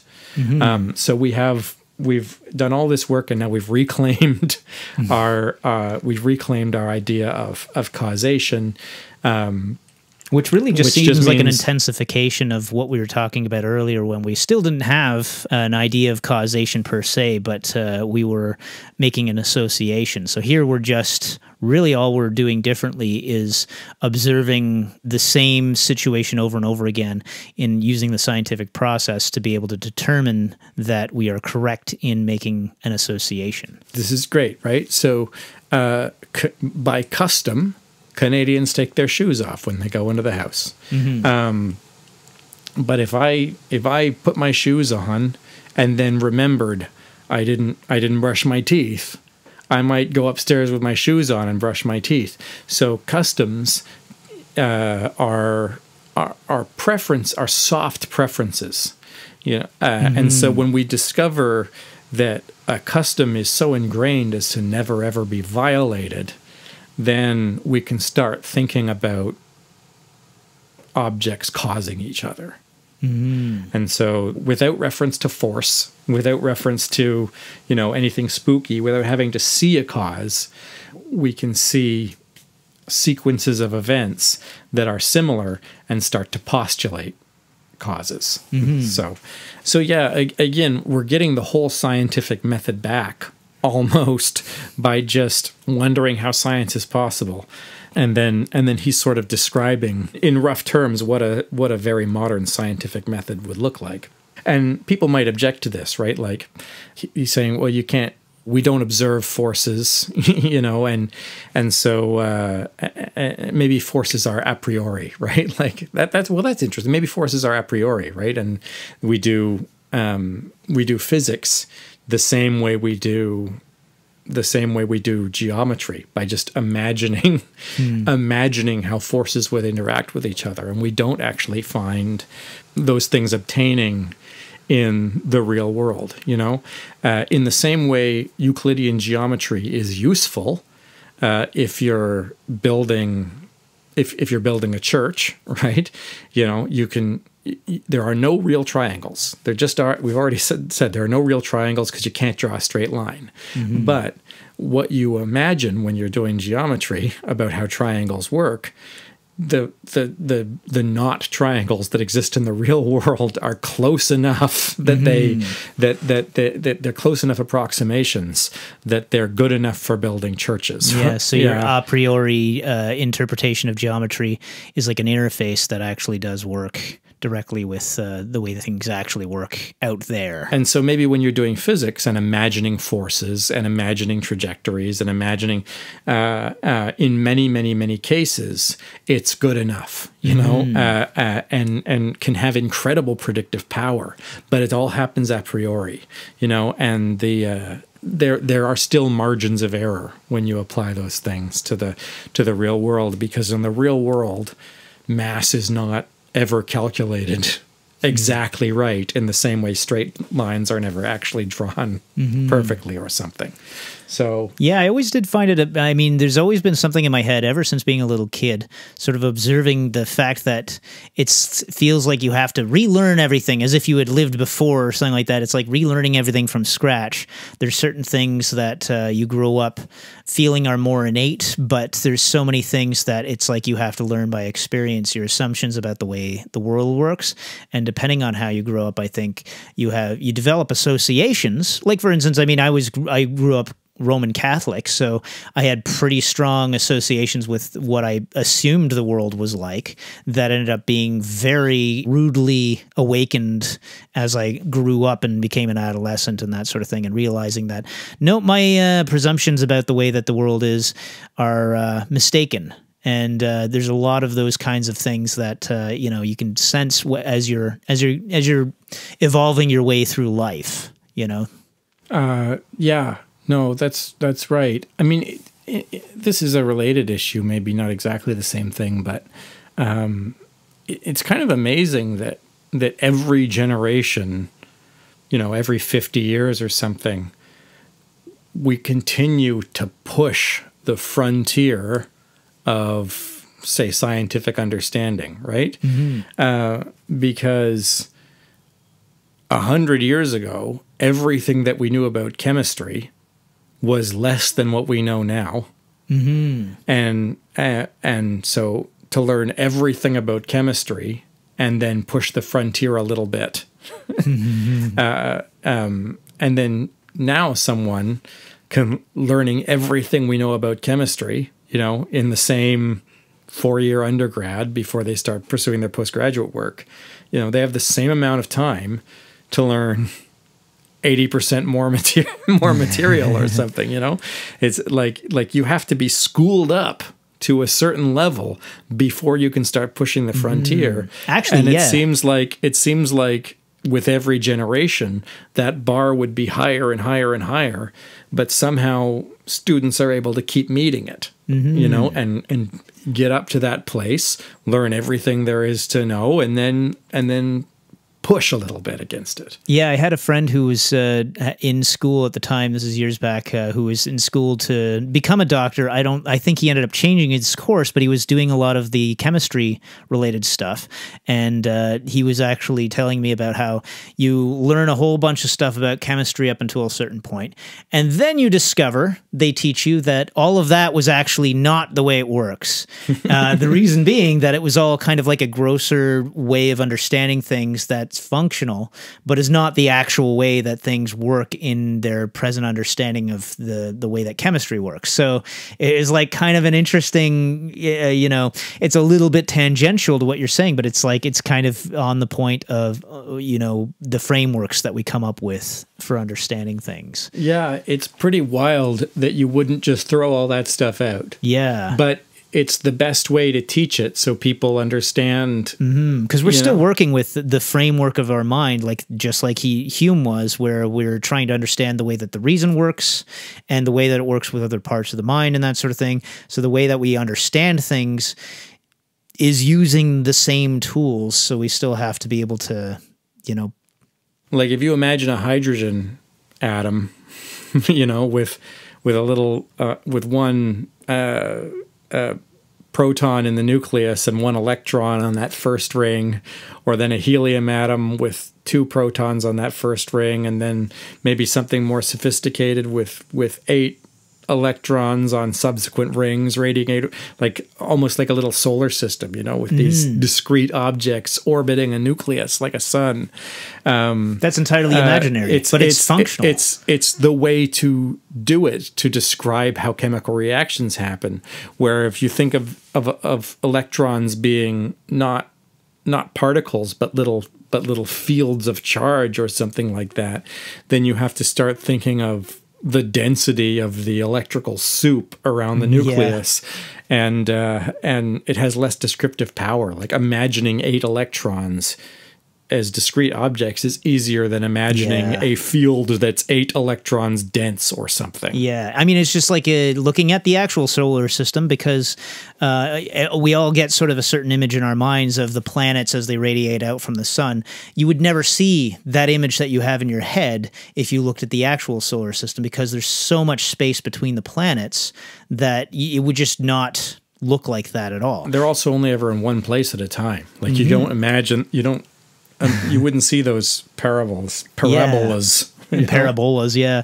Parabol para- we yeah it's it's that type of thing where you you dumb it down for your brain to be able to work with this information. He actually uses an, a perfect example of this as well. He mentions the uh, the idea of when we picture horses generally we still picture something particular when we picture horses generally. He uses the example of like you picture a either a black or a white horse. Personally, I actually picture a brown horse, but what, that's neither here. nor there. I also pictured a brown horse. I think, but him, him existing at the time that he was in in, in England and whatnot. E- either way, it's like you picture a particular kind of horse. You have an image that comes to mind. You don't have some weird general sort of encapsulation of all horse eye. Uh, horsus, horses, horse, Horse, horsies. horsies. Ah. but yeah, it's uh, you, you, that's actually a very good point. We do have like this very particular image that comes into mind and stands in the place of the generality of it, just like the solar system or just like the the atom or whatnot. It's almost like there's like this world of forms out there that's like this perfect, you know, I just inventing this idea now. So Yeah. forgive me, but it's almost like there was some sort of. Uh, well, you're going to a revolutionize thought going forward. I'm telling Yeah. you. Uh, so now here's this is going to piss me off here of liberty and necessity. yeah. So we've spent all this time uh, trying to deal with a world in which events don't have causes. And how can we do science if we can't observe cause? Well, maybe if we're careful and if we watch carefully and make sure that in every single instance the custom repeats and there's never any exceptions, then in that special case we can say we've identified a cause. Okay? And now of liberty and necessity, he's going to say there's no such thing as chance and everything is caused. And that's the premise, and all men already agree with that. and I don't know, I, I can't find the argument. Yeah, know, it's- it took me a long time to understand that that chapter on probability, Mm-hmm. right? Because he's talking about how probabilities work, and probabilities can't work because there's no such thing as cause. And no, no, no, it's there's a way in which objects appear to the mind and then you start imagining you know like like and so he's explaining how probability works if there's no such thing as cause now what he's going to do is he's going to say that there's no such thing as random chance and that all events, you know, so ever follow from other events and that this idea of uh, that there might be randomness or something, you know, like like oh, you know, we have we have necessary causes and we have unnecessary causes. And what could what do you mean by unnecessary cause? Like everything follows from everything else. And and And this I is another one of those Don't know how he gets there. Yeah, this is a, and he, it's just a dismissive kind of thing. It's like, nope, chance doesn't exist. We all agree on that. So uh, we're on to this subject, and uh, it it does feel like by alluding to exactly what you're saying about the idea that everything has a cause, it it alludes to the idea that there's a mechanical framework to everything that exists, and it feels like uh, one of the things we're seeing a lot of here in this paper is uh, several things such as this that are like constitute the first nail in the coffin of God, whether he realized it or not, which he didn't. But uh, Nietzsche would realize this um, 150 years later, or whatever it was, uh, that uh, this was kind of leading up to that nail that death of God, and uh, ultimately to Ayer and the idea of um, all philosophy actually being uh, logic uh, and linguistics. And just sort of quibbling over uh, linguistic terms, so that uh, the idea of on ontology doesn't actually mean anything except linguistically, and it's an illusion that is created by linguistics and logic. Um, I feel like this is kind of like the first sort of step towards all of that taking place. Uh, well, that's an interesting thought. Uh, I have no idea how to uh, interrogate it. We don't But- know. Yeah, that's just basically hints of things to come, as far as I'm concerned. But we can jump into where we we can ignore that for the moment and jump into the Uh, what's actually on the page. So, so, uh, I, so what he's going to do is he's going to he's, he's saying that everyone already agrees on liberty and necessity, and what he means by liberty and necessity is something like the relationship of free will to determination. Um, do do people are people radically free, or do we live in a deterministic universe where Deterministic? the, the, the dest- deterministic deterministic universe where Neil Armstrong was always going to land on the moon? You know, uh, you know, is is uh, is it just one sort of possible course, and we're just playing that out, or do people have freedom to Fuck with things. make decisions about their own lives. And if you're saying that we don't observe causes in the world, one might expect, or at least I expected, this to be sort of a proto existentialist thing where, you know, events aren't caused by other events. Uh, we know that events happen and we know that there's, we, we observe events happening in a sequence, but who knows why? you know it's it's just it's just all this stuff just going on and so uh um Can I catch you there for a moment? Yeah. Uh, I feel like the way that you're talking about this, I just want to address this. Uh, you seem to be saying that uh, events don't have causes. I feel like uh, the the way I would parse it is events do have causes, but we're not able to observe the causes. We are incapable of observing causes because we're only able to see things superficially on the outside based on the way that our senses function and our engagement with them. So we can't perceive or pierce through to the actual underlying causes.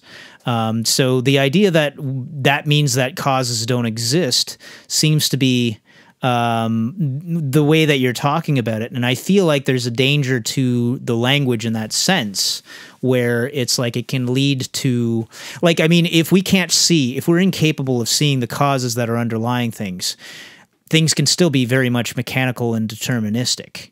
We just simply won't be able to figure out where they're leading to. There's we a difference between that. If we can't observe causes, how do you know there are causes? Why do you think there are? There's a belief Why in do you that, assume? yeah. Why do you assume there are causes? Well, it, that doesn't. Okay, there's a difference there between um, us being able to say that there are causes and that being definitive proof that there aren't causes. Because if you say that there aren't causes, that's just as bad as saying that there are causes without us having proof of it. I think, uh, but I think usually you only defend positive propositions. If you can't prove to me there are causes, why should I believe in God?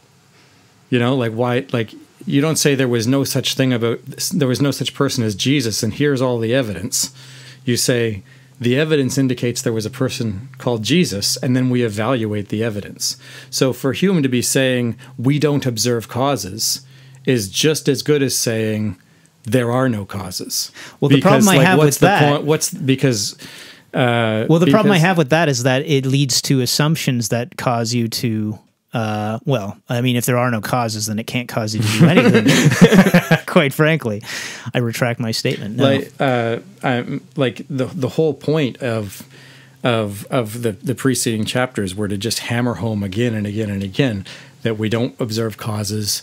We uh, we imagining imagining that forces describe the universe might be useful in some cases, but we have no evidence of that. And so like so like for him to to uh, to go from that to saying we live in a radically deterministic universe where effects naturally just follow from from causes and everything exists in this chain of you know where everything follows from everything else essentially is uh seems to me a big surprise. Well, I'm, I, yeah, I guess again, it's like uh, the difficulty here is we are determining that we do have an innate tendency to develop these customs as far as belief goes uh, with w- what we're predicting, so that we we get used to the idea that certain things are going to follow certain other things, and we read into that a cause. Correct. yeah And we see this consistently enough that we can even develop a science based on it, correct? Mm-hmm. So, based on that, we still have something there to study. And uh, from it, we infer that there are causes and there are effects, correct? we're allowed to use the word cause if in if we always see if we see a, a custom never being violated but it doesn't actually mean cause. It just means that we can make predictions. It- it- it- So I guess that means we need to define our terms. So we talk. Are you saying that the cause that doesn't exist is volition, or is it uh, cause as in these effects are being caused by something that precede the effects? You see I mean? The language is important here because it, it does sort of nail down. Yeah. So so um, uh, one event follows another event, mm-hmm. and this is this is what we call custom. And if if if the events if similar events always follow similar events, then we're within our rights to call those things caused. But that's what happens in our minds. That just gives us permission to use that word that we're already using. It doesn't actually mean that the events are causing each other because we can't observe the causes. We just buy ourselves the freedom to use that word if we see that this Okay. similar kind of event always follows another event. In that case, then uh, I can see where we haven't come to a determination of what that situ- what that relationship is. I can understand that, but then to say that causes don't exist as a result of that seems like a pretty definitive uh, determination of the situation that we haven't quite actually. We've acknowledged that we're unable to uh, actually inquire into. Well,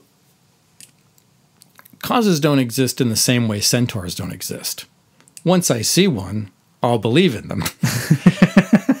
but we can't see them. That's the whole. That's the whole point.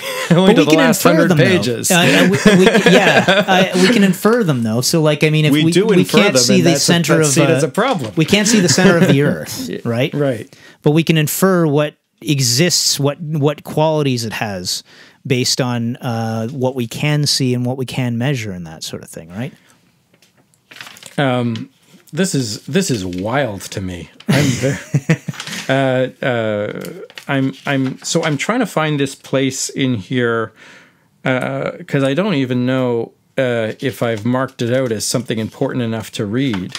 Um, but I'm trying to find the place where he talks about unnecessary causes or something like that, Okay. and and and says that that concept is ridiculous because that might be the clue, right? Gotcha. because because we've established that we're allowed to use the word cause if one event always follows another event.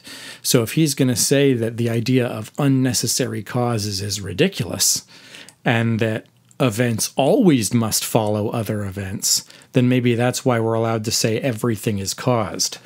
Um, but I can't find it, so I'll have to do it from memory. And if so, if I may make a mistake, pe- people can correct me in the comments.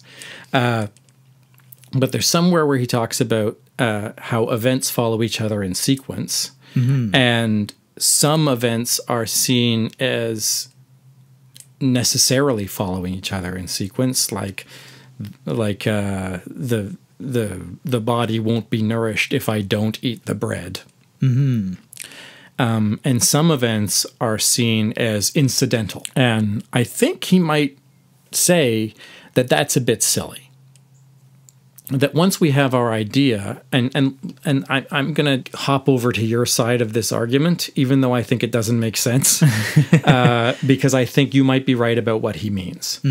Um, so we've got this idea that that if we see necessary connections as causes, and we're going to let ourselves use that word, even though we mm-hmm. don't observe causes, well, we can just say that every event that follows every other event is caused because the the idea that some event might happen and then some other thing might happen following that as a coincidence is it, it it's it's like a little bit silly maybe right like like if we see events in succession uh, even if the causes are opaque to us, like it's like he'll use the he'll talk about the weather, right? Like, uh, like the weather is dependent on so many different forces that it's unpredictable.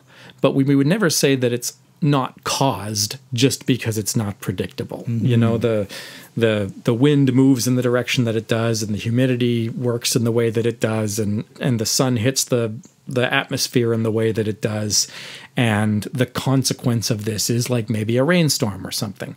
And so we can think, e- even though our definition of cause is a little bit laboratory, we have to repeat and repeat and repeat and repeat the experiment to prove that one event always follows another in order to get the cause once we've done that a few times, what we can step back and, and postulate is that maybe all events are caused because we always see events happening in a succession, even though we don't understand how those causes work. Maybe maybe all natural events are caused, and that gets us well enough into the beginning of this chapter that we can start discussing it.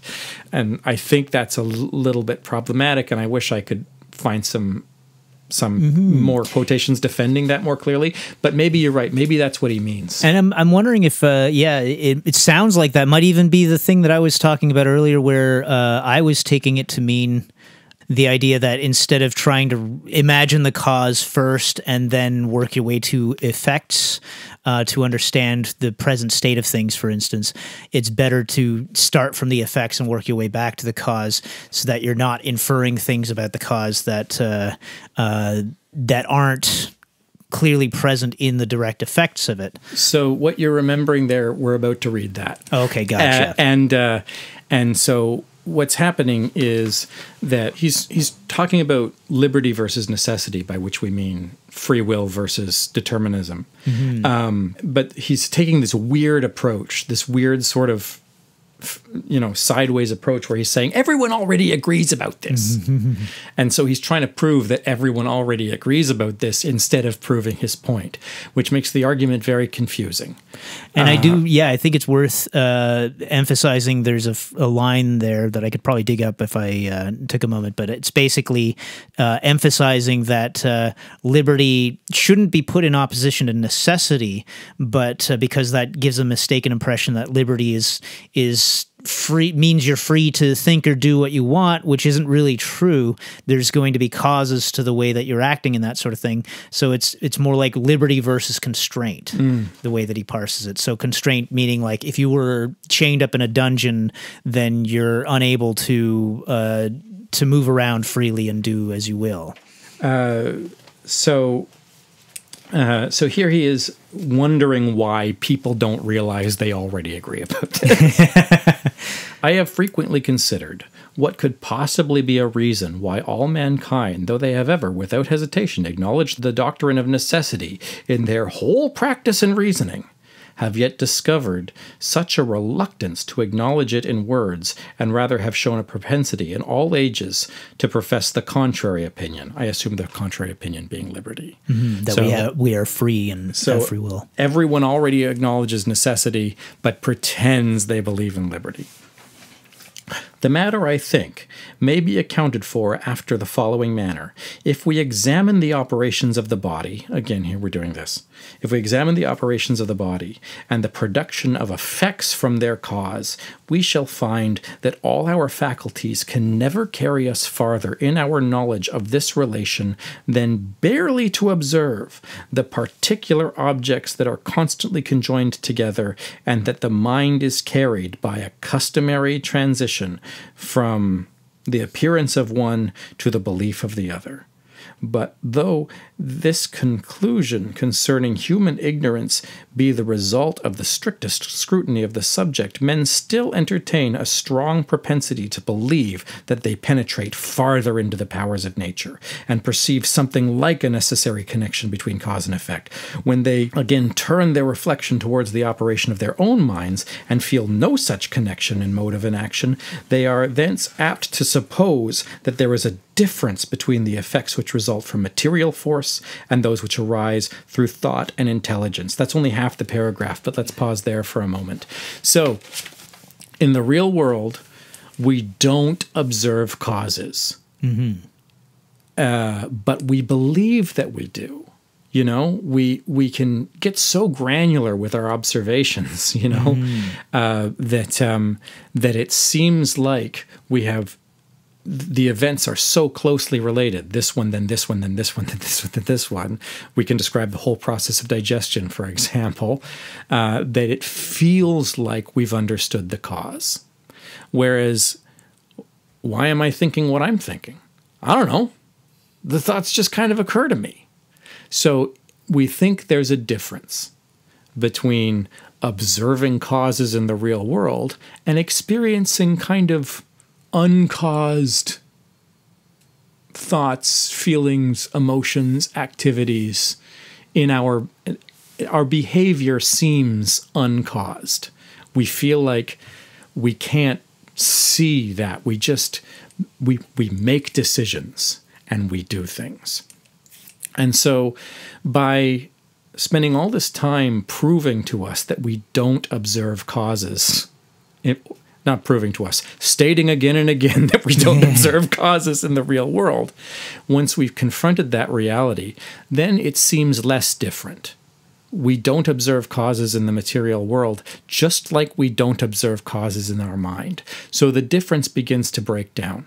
you know, it stops being the case that um, that our own motives are mysterious to us, unlike the motives of planets, which you know we can postulate forces, and and it just becomes planet. The movement of planets is mysterious.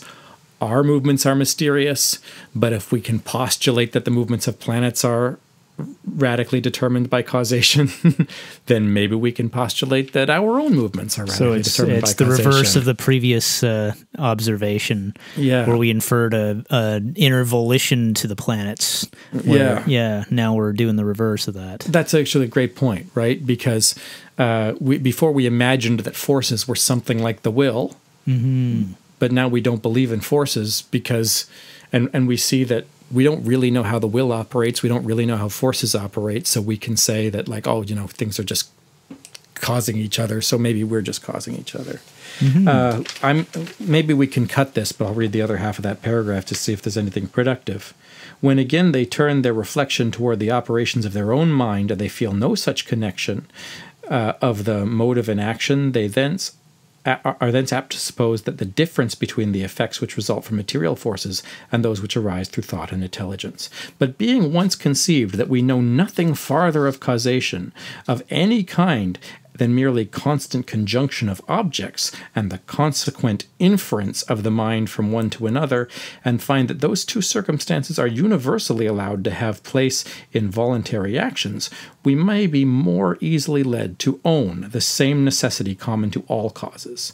And though this reasoning may contradict the system of many philosophies in ascribing necessity to the determinations of the will, we shall find upon reflection that they dissent from it in words only, not in real sentiment. Necessity, according to the sense in which it is here taken, has never yet been rejected, nor ever can, I think, be rejected by the philosopher. So he's just doing this frustrating thing where he insists that he's right and everyone already agrees with him. And so let's try to find one more quotation that sort of wraps up this argument and says that, uh, well, let's read what you wanted to read uh, paragraph 72. It would seem indeed that men begin at the wrong end of this question concerning liberty and necessity, when they enter upon it by examining the faculties of the soul, the influence of the understanding, and the operations of the will. Let them first discuss a more simple question, namely, the operations of the body and the brute, unintelligent matter and try whether they can th- from there form any idea of causation and necessity except the constant conjunction of objects and subsequent inference of the mind from one to another. If the circumstance is form in reality the whole of that necessity which we conceive in matter, and if these circumstances be only universally acknowledged to take place in the operations of the mind, the dispute is at an end, at least must be owned to be thenceforth merely verbal. But as long as we will rashly suppose that we have some farther idea of necessity and causation in the operations of external objects, at the same time that we can find nothing farther in the voluntary actions of the mind, there is no possibility of bringing the question to any determinate issue while we proceed upon so erroneous a supposition.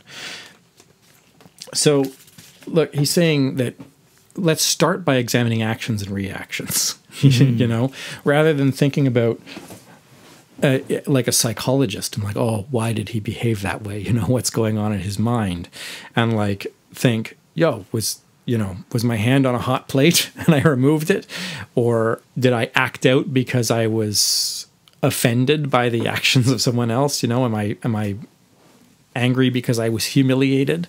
Like, like if if there's a behavioristic solution then uh, rather than a psychological solution, then it's it's much easier to say that we live in this world of necessity, right? We don't need to involve mental processes at all. If we start by just looking at people and saying, "Well, does their behavior make sense? Does the does the input match the output?" Uh, um, and he does have certain psychological accounts. He talks about different emotional motives, like different qualities that that motivate people. But uh, There's a uh, but those are still th- those are still like he, he says that the it's the same motives for the same actions again and again and again all throughout history. Yeah, there's an anecdote that comes to mind from the movie Clerks, where uh, the the two clerks are sitting behind the counter and some customers just idly commenting on something that he's reading, and uh, the two clerks are arguing over free will and and like the idea of you know having your personal volition to be able to make changes in your life and that, and uh, so the one character Randall at some point in the conversation decides to spit on the uh, like the, all the water that he's been drinking onto the customer, and the customer gets all pissed off and and storms off. And uh, of course, Dante is like, "Why did you do that?" He's like, "To prove a point, because uh, I'm proving that I, you know, you're saying that all my actions are determined, and I'm showing you that no, they're not." And it's like that's uh, that little scene doesn't actually prove anything of the sort because it's uh, obviously he's doing that specifically motivated in a certain way and coming from certain character qualities and that sort of thing. So it's still very much easy to argue that as being deterministic. Uh, we've been going about two hours. We don't have to finish everything we planned to finish, so let's not do any more quotations. But I think we've sort of explained how science, what we set out to do in terms of science working well in the absence of causation or the absence of a of a apprehension of causation. And then this little thing about liberty and necessity, I thought was important because the Thelemites were concerned with Yeah. liberty. He does say that um, if by liberty we mean the choice to act or not to act, then that's fine. We have we have liberty, um, and that's weird. but if we act, then our actions are determined. uh, um, so that's the that's the big choice we have is is to restrain ourselves or to let our passions take over, I guess. So if we live in a radically deterministic universe, then one of the big one of the big problems that um, that people continue to think about, even up to today, is how do we punish crimes? Yeah, if people don't have any control over the fact that they're committing these crimes, then how do you punish them for that? uh, and uh, and he this is where he starts sounding like an atheist, right? Like, well, if if we live in a radically determined universe, then all the horrors were initiated at the first moment of creation, and they were all built in there by God. And so he gives a couple of possible refutes. He says the you know the best of all possible worlds refute is is uh, it is a decent one that you know if he stopped the Boer War from happening, that if God stopped the Boer War from happening, maybe the way the history played out, there'd be some other positive thing that was necessary that didn't happen, and that that on balance, it, from a utilitarian perspective, the way history actually plays out is uh, it, is the greatest good for the greatest number the greatest number of people.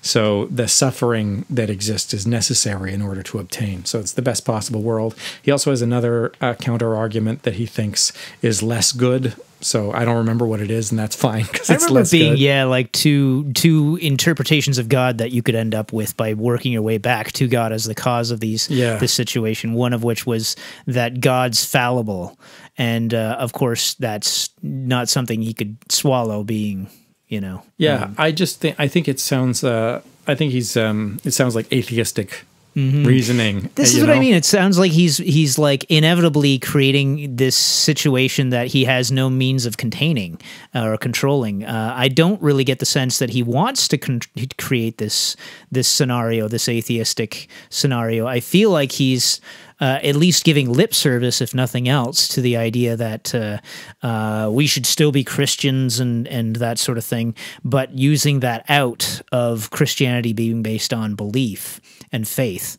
Uh, rather than on rational reasoning and that sort of thing. Uh, he gives a couple of accounts of how you can justify punishing crimes. One being that we live in a radically deterministic universe where we do punish crimes. Yeah. uh, so, like, you know, people commit crimes, we have social standards, uh, and we try to hold people to those social standards, and that's just the way it works. And then the other one, which is a little bit uh, less laissez faire, is um, is for the sake of convenience. Uh, so um, we're not we're not punishing criminals. We're just removing antisocial elements from society so that things move a little bit more smoothly. So if if your big worry about liberty is that without liberty you can't do justice, then you just say we're doing justice on pragmatic grounds because um, uh, because we just always have. So that's part of our radically deterministic condition, and um, and and we need to do it in order for civilization to to, I- to I move think- along the way that it that, that it, it needs to. Yeah, and I think this is why he set himself up at the very beginning, at the outset, with uh, the idea of the two possible routes, which are the moral philosophy and the abstruse philosophy, uh, so that he could explore the abstruse philosophy throughout this paper. But still have the moral philosophy as sort of a backup, uh, as uh, just as legitimate in his mind. And in fact, I think the way that he closes up the paper, which we'll, we're not going to get to, but we can address, is just uh, that he's going to uh, point out that you can have an overemphasis on reason and uh, th- using that abstruse philosophy where you essentially uh, break everything down and become too hyper skeptical and he's he's sort of trying to strike a, a place, a balance of some sort where there's a, a, a high degree of skepticism combined with the ability to reintroduce some of those other ideas, such as the uh, um, moral philosophy. Why is this important for Thelemites? Uh, what was the? Do you remember the context of the footnote where Crowley referred to, you know, as in this paper or whatever? Oh God, no, No. not offhand. uh, I mean, some of the stuff we talked about last month. Was it last month or was it the end of last season where we were talking about people who maybe uh, um, Oh yeah, it was last month because it was the thing from uh, Energized Enthusiasm where he says uh, uh, madness is disordered and um, and and genius is ordered. Both are mm-hmm. spontaneous. Both are you know have similar share things, similar but one is ordered and and so this idea of the skeptical approach and understanding how reasonable people reason is uh, is is part of the preliminary training for for Crowley and the AA, and so these were examples. Uh, although I found this paper pretty frustrating for Crowley, David Hume's essays are examples of masterpieces of skepticism. How you should approach carefully uh, reasoning from one proposition to another. So maybe if we do more David Hume at some point, we should do something that is called an essay, so we can see if if it's more um, so not three dialogues on natural religion which is the other m- most famous one uh, but but something that's called uh, something that's called an essay. So if we can see if they are more sort of connected than i found this to be. But uh, I mean, honestly, this was there was a lot of really good usefulness to this, and I could see where it, he, Crowley would recommend this. Um, I think anything that you're reading, you have to be able to uh, play your own devil's advocate with, and and not just take whole cloth um, for granted or anything like that. But uh, I think there's a lot of stuff in here that's really good, and I do think it's a an excellent primer for getting into philosophy and starting the argument at as close to square one as you can get without having to go back two thousand five hundred years or something like that um, right off the bat. Although that doesn't hurt either. Uh, and yeah, and again, anything you're reading, you're going to have to take with it the bad with the good. I mean, in this case, this is uh, going back uh, into the 1700s to a Protestant who's uh, in England and is going to have uh, a particular worldview um, that's predates a lot of the stuff that we take for granted nowadays. Uh, and this account of how we know things, right? Like Crowley is sometimes asked if he believes in demons or if he believes in God, Mm-hmm. and uh, he says, "Well, it depends on what you mean by belief. Yeah, You know, like, like, do I think it's real? Well, I, I I've had experiences of gods and demons. Like you know Mm. I, I i did the so so in a sense i believe in demons the same way i believe in dreams or you or anything else by reference Mm. to my own personal experience. So um, the devil may not be real but he's at least as real as you are by reference to my own experience you know? Uh, just like Aiwass I, maybe not the devil but like Aiwass you know i was in the room with him. I saw what he looked like. I kind of heard his voice you know it, uh, i have the same evidence for Aiwass that i have for you. And so uh, y- you know who knows if it's real but uh, yeah. And I, I think there's yeah something useful in in observing and understanding the skeptical process because there is an inherent danger to it in that it can completely take away all sort of sense of meaning or importance or uh, you know it can it can break things down to a point where there's they're just dry and stale and uninteresting. So there's yeah there's something there you know? We if we're if we're going to engage with magic then we're using skepticism as uh, an incredibly useful tool and an important tool. Um, but it's also one that could completely make you give up magic you know, taken to uh, to an extreme in one direction. which for a lot of people might not be the world's most disastrous outcome Yeah, it might be exactly what's. Uh, hey, hey uh, I, I didn't read this whole paper. I sort of focused on the 40 pages that we agreed to discuss. Um, I think you finished it because you just quoted a little bit from the, the last page or two. The most famous chapter of this, I think, is on miracles. Should we do at some point, not next month, but at some point, another discussion that includes the chapter on miracles, or is it is it maybe not as relevant to us? I mean, I could I could sort of uh, do away with that chapter in a couple of sentences, but at the same time, maybe it would be kind of interesting. I would say, uh, how about this? Maybe uh, if you want to give it a read when you have a moment and uh, see what you think of it. But Yeah, I mean, I, I, I sometimes get stuck in these YouTube pits where uh, apologists and biblical scholars are talking past each other. You know, it, uh, like uh, the apologists are complaining that the biblical scholars don't give the Bible enough weight to speak on its own terms. To you know, uh, you know, it's like oh oh they don't they don't even think it's real evidence and then the the biblical scholars are saying, "Oh, apologists, you know, they they they take their propositions as a priori true, and then they go to explore history to see what evidence they can find for things they mm-hmm. already believe, rather than taking the evidence on its own terms."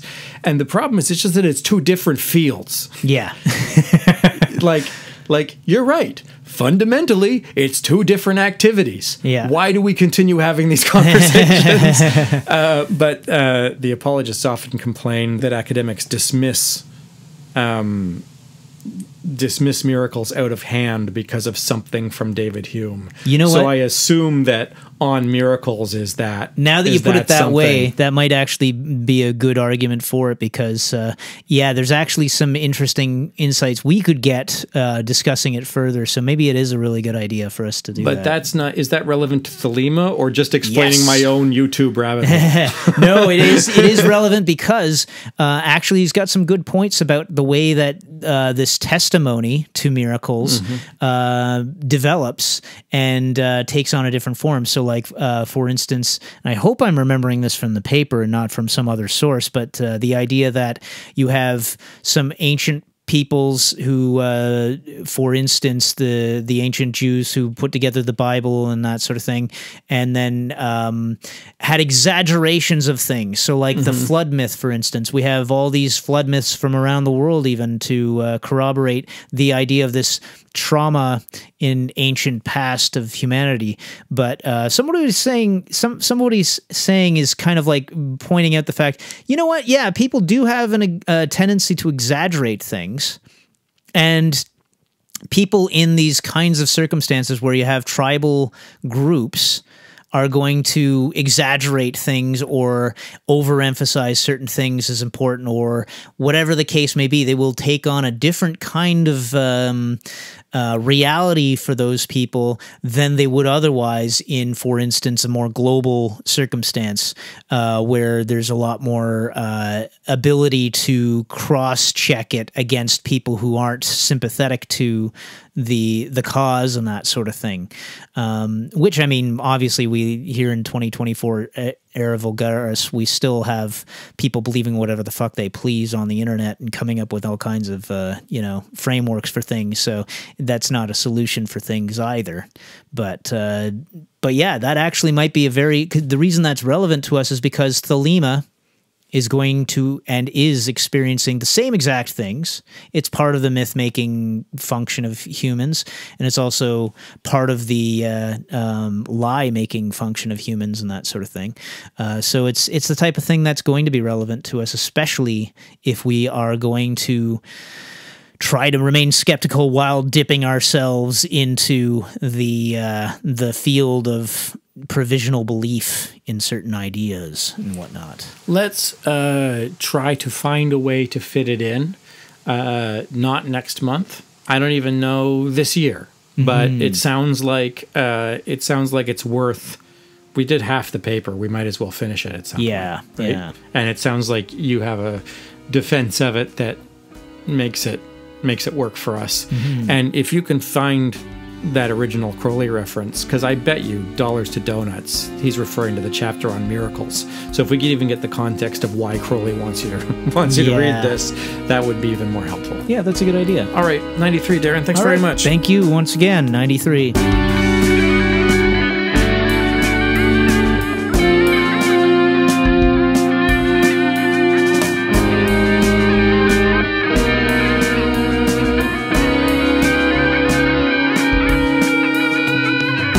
Thanks for listening. Look for Toronto Thelema on Instagram, Facebook, and YouTube. Watch for events in the city. And join us again in the darkly splendid abodes.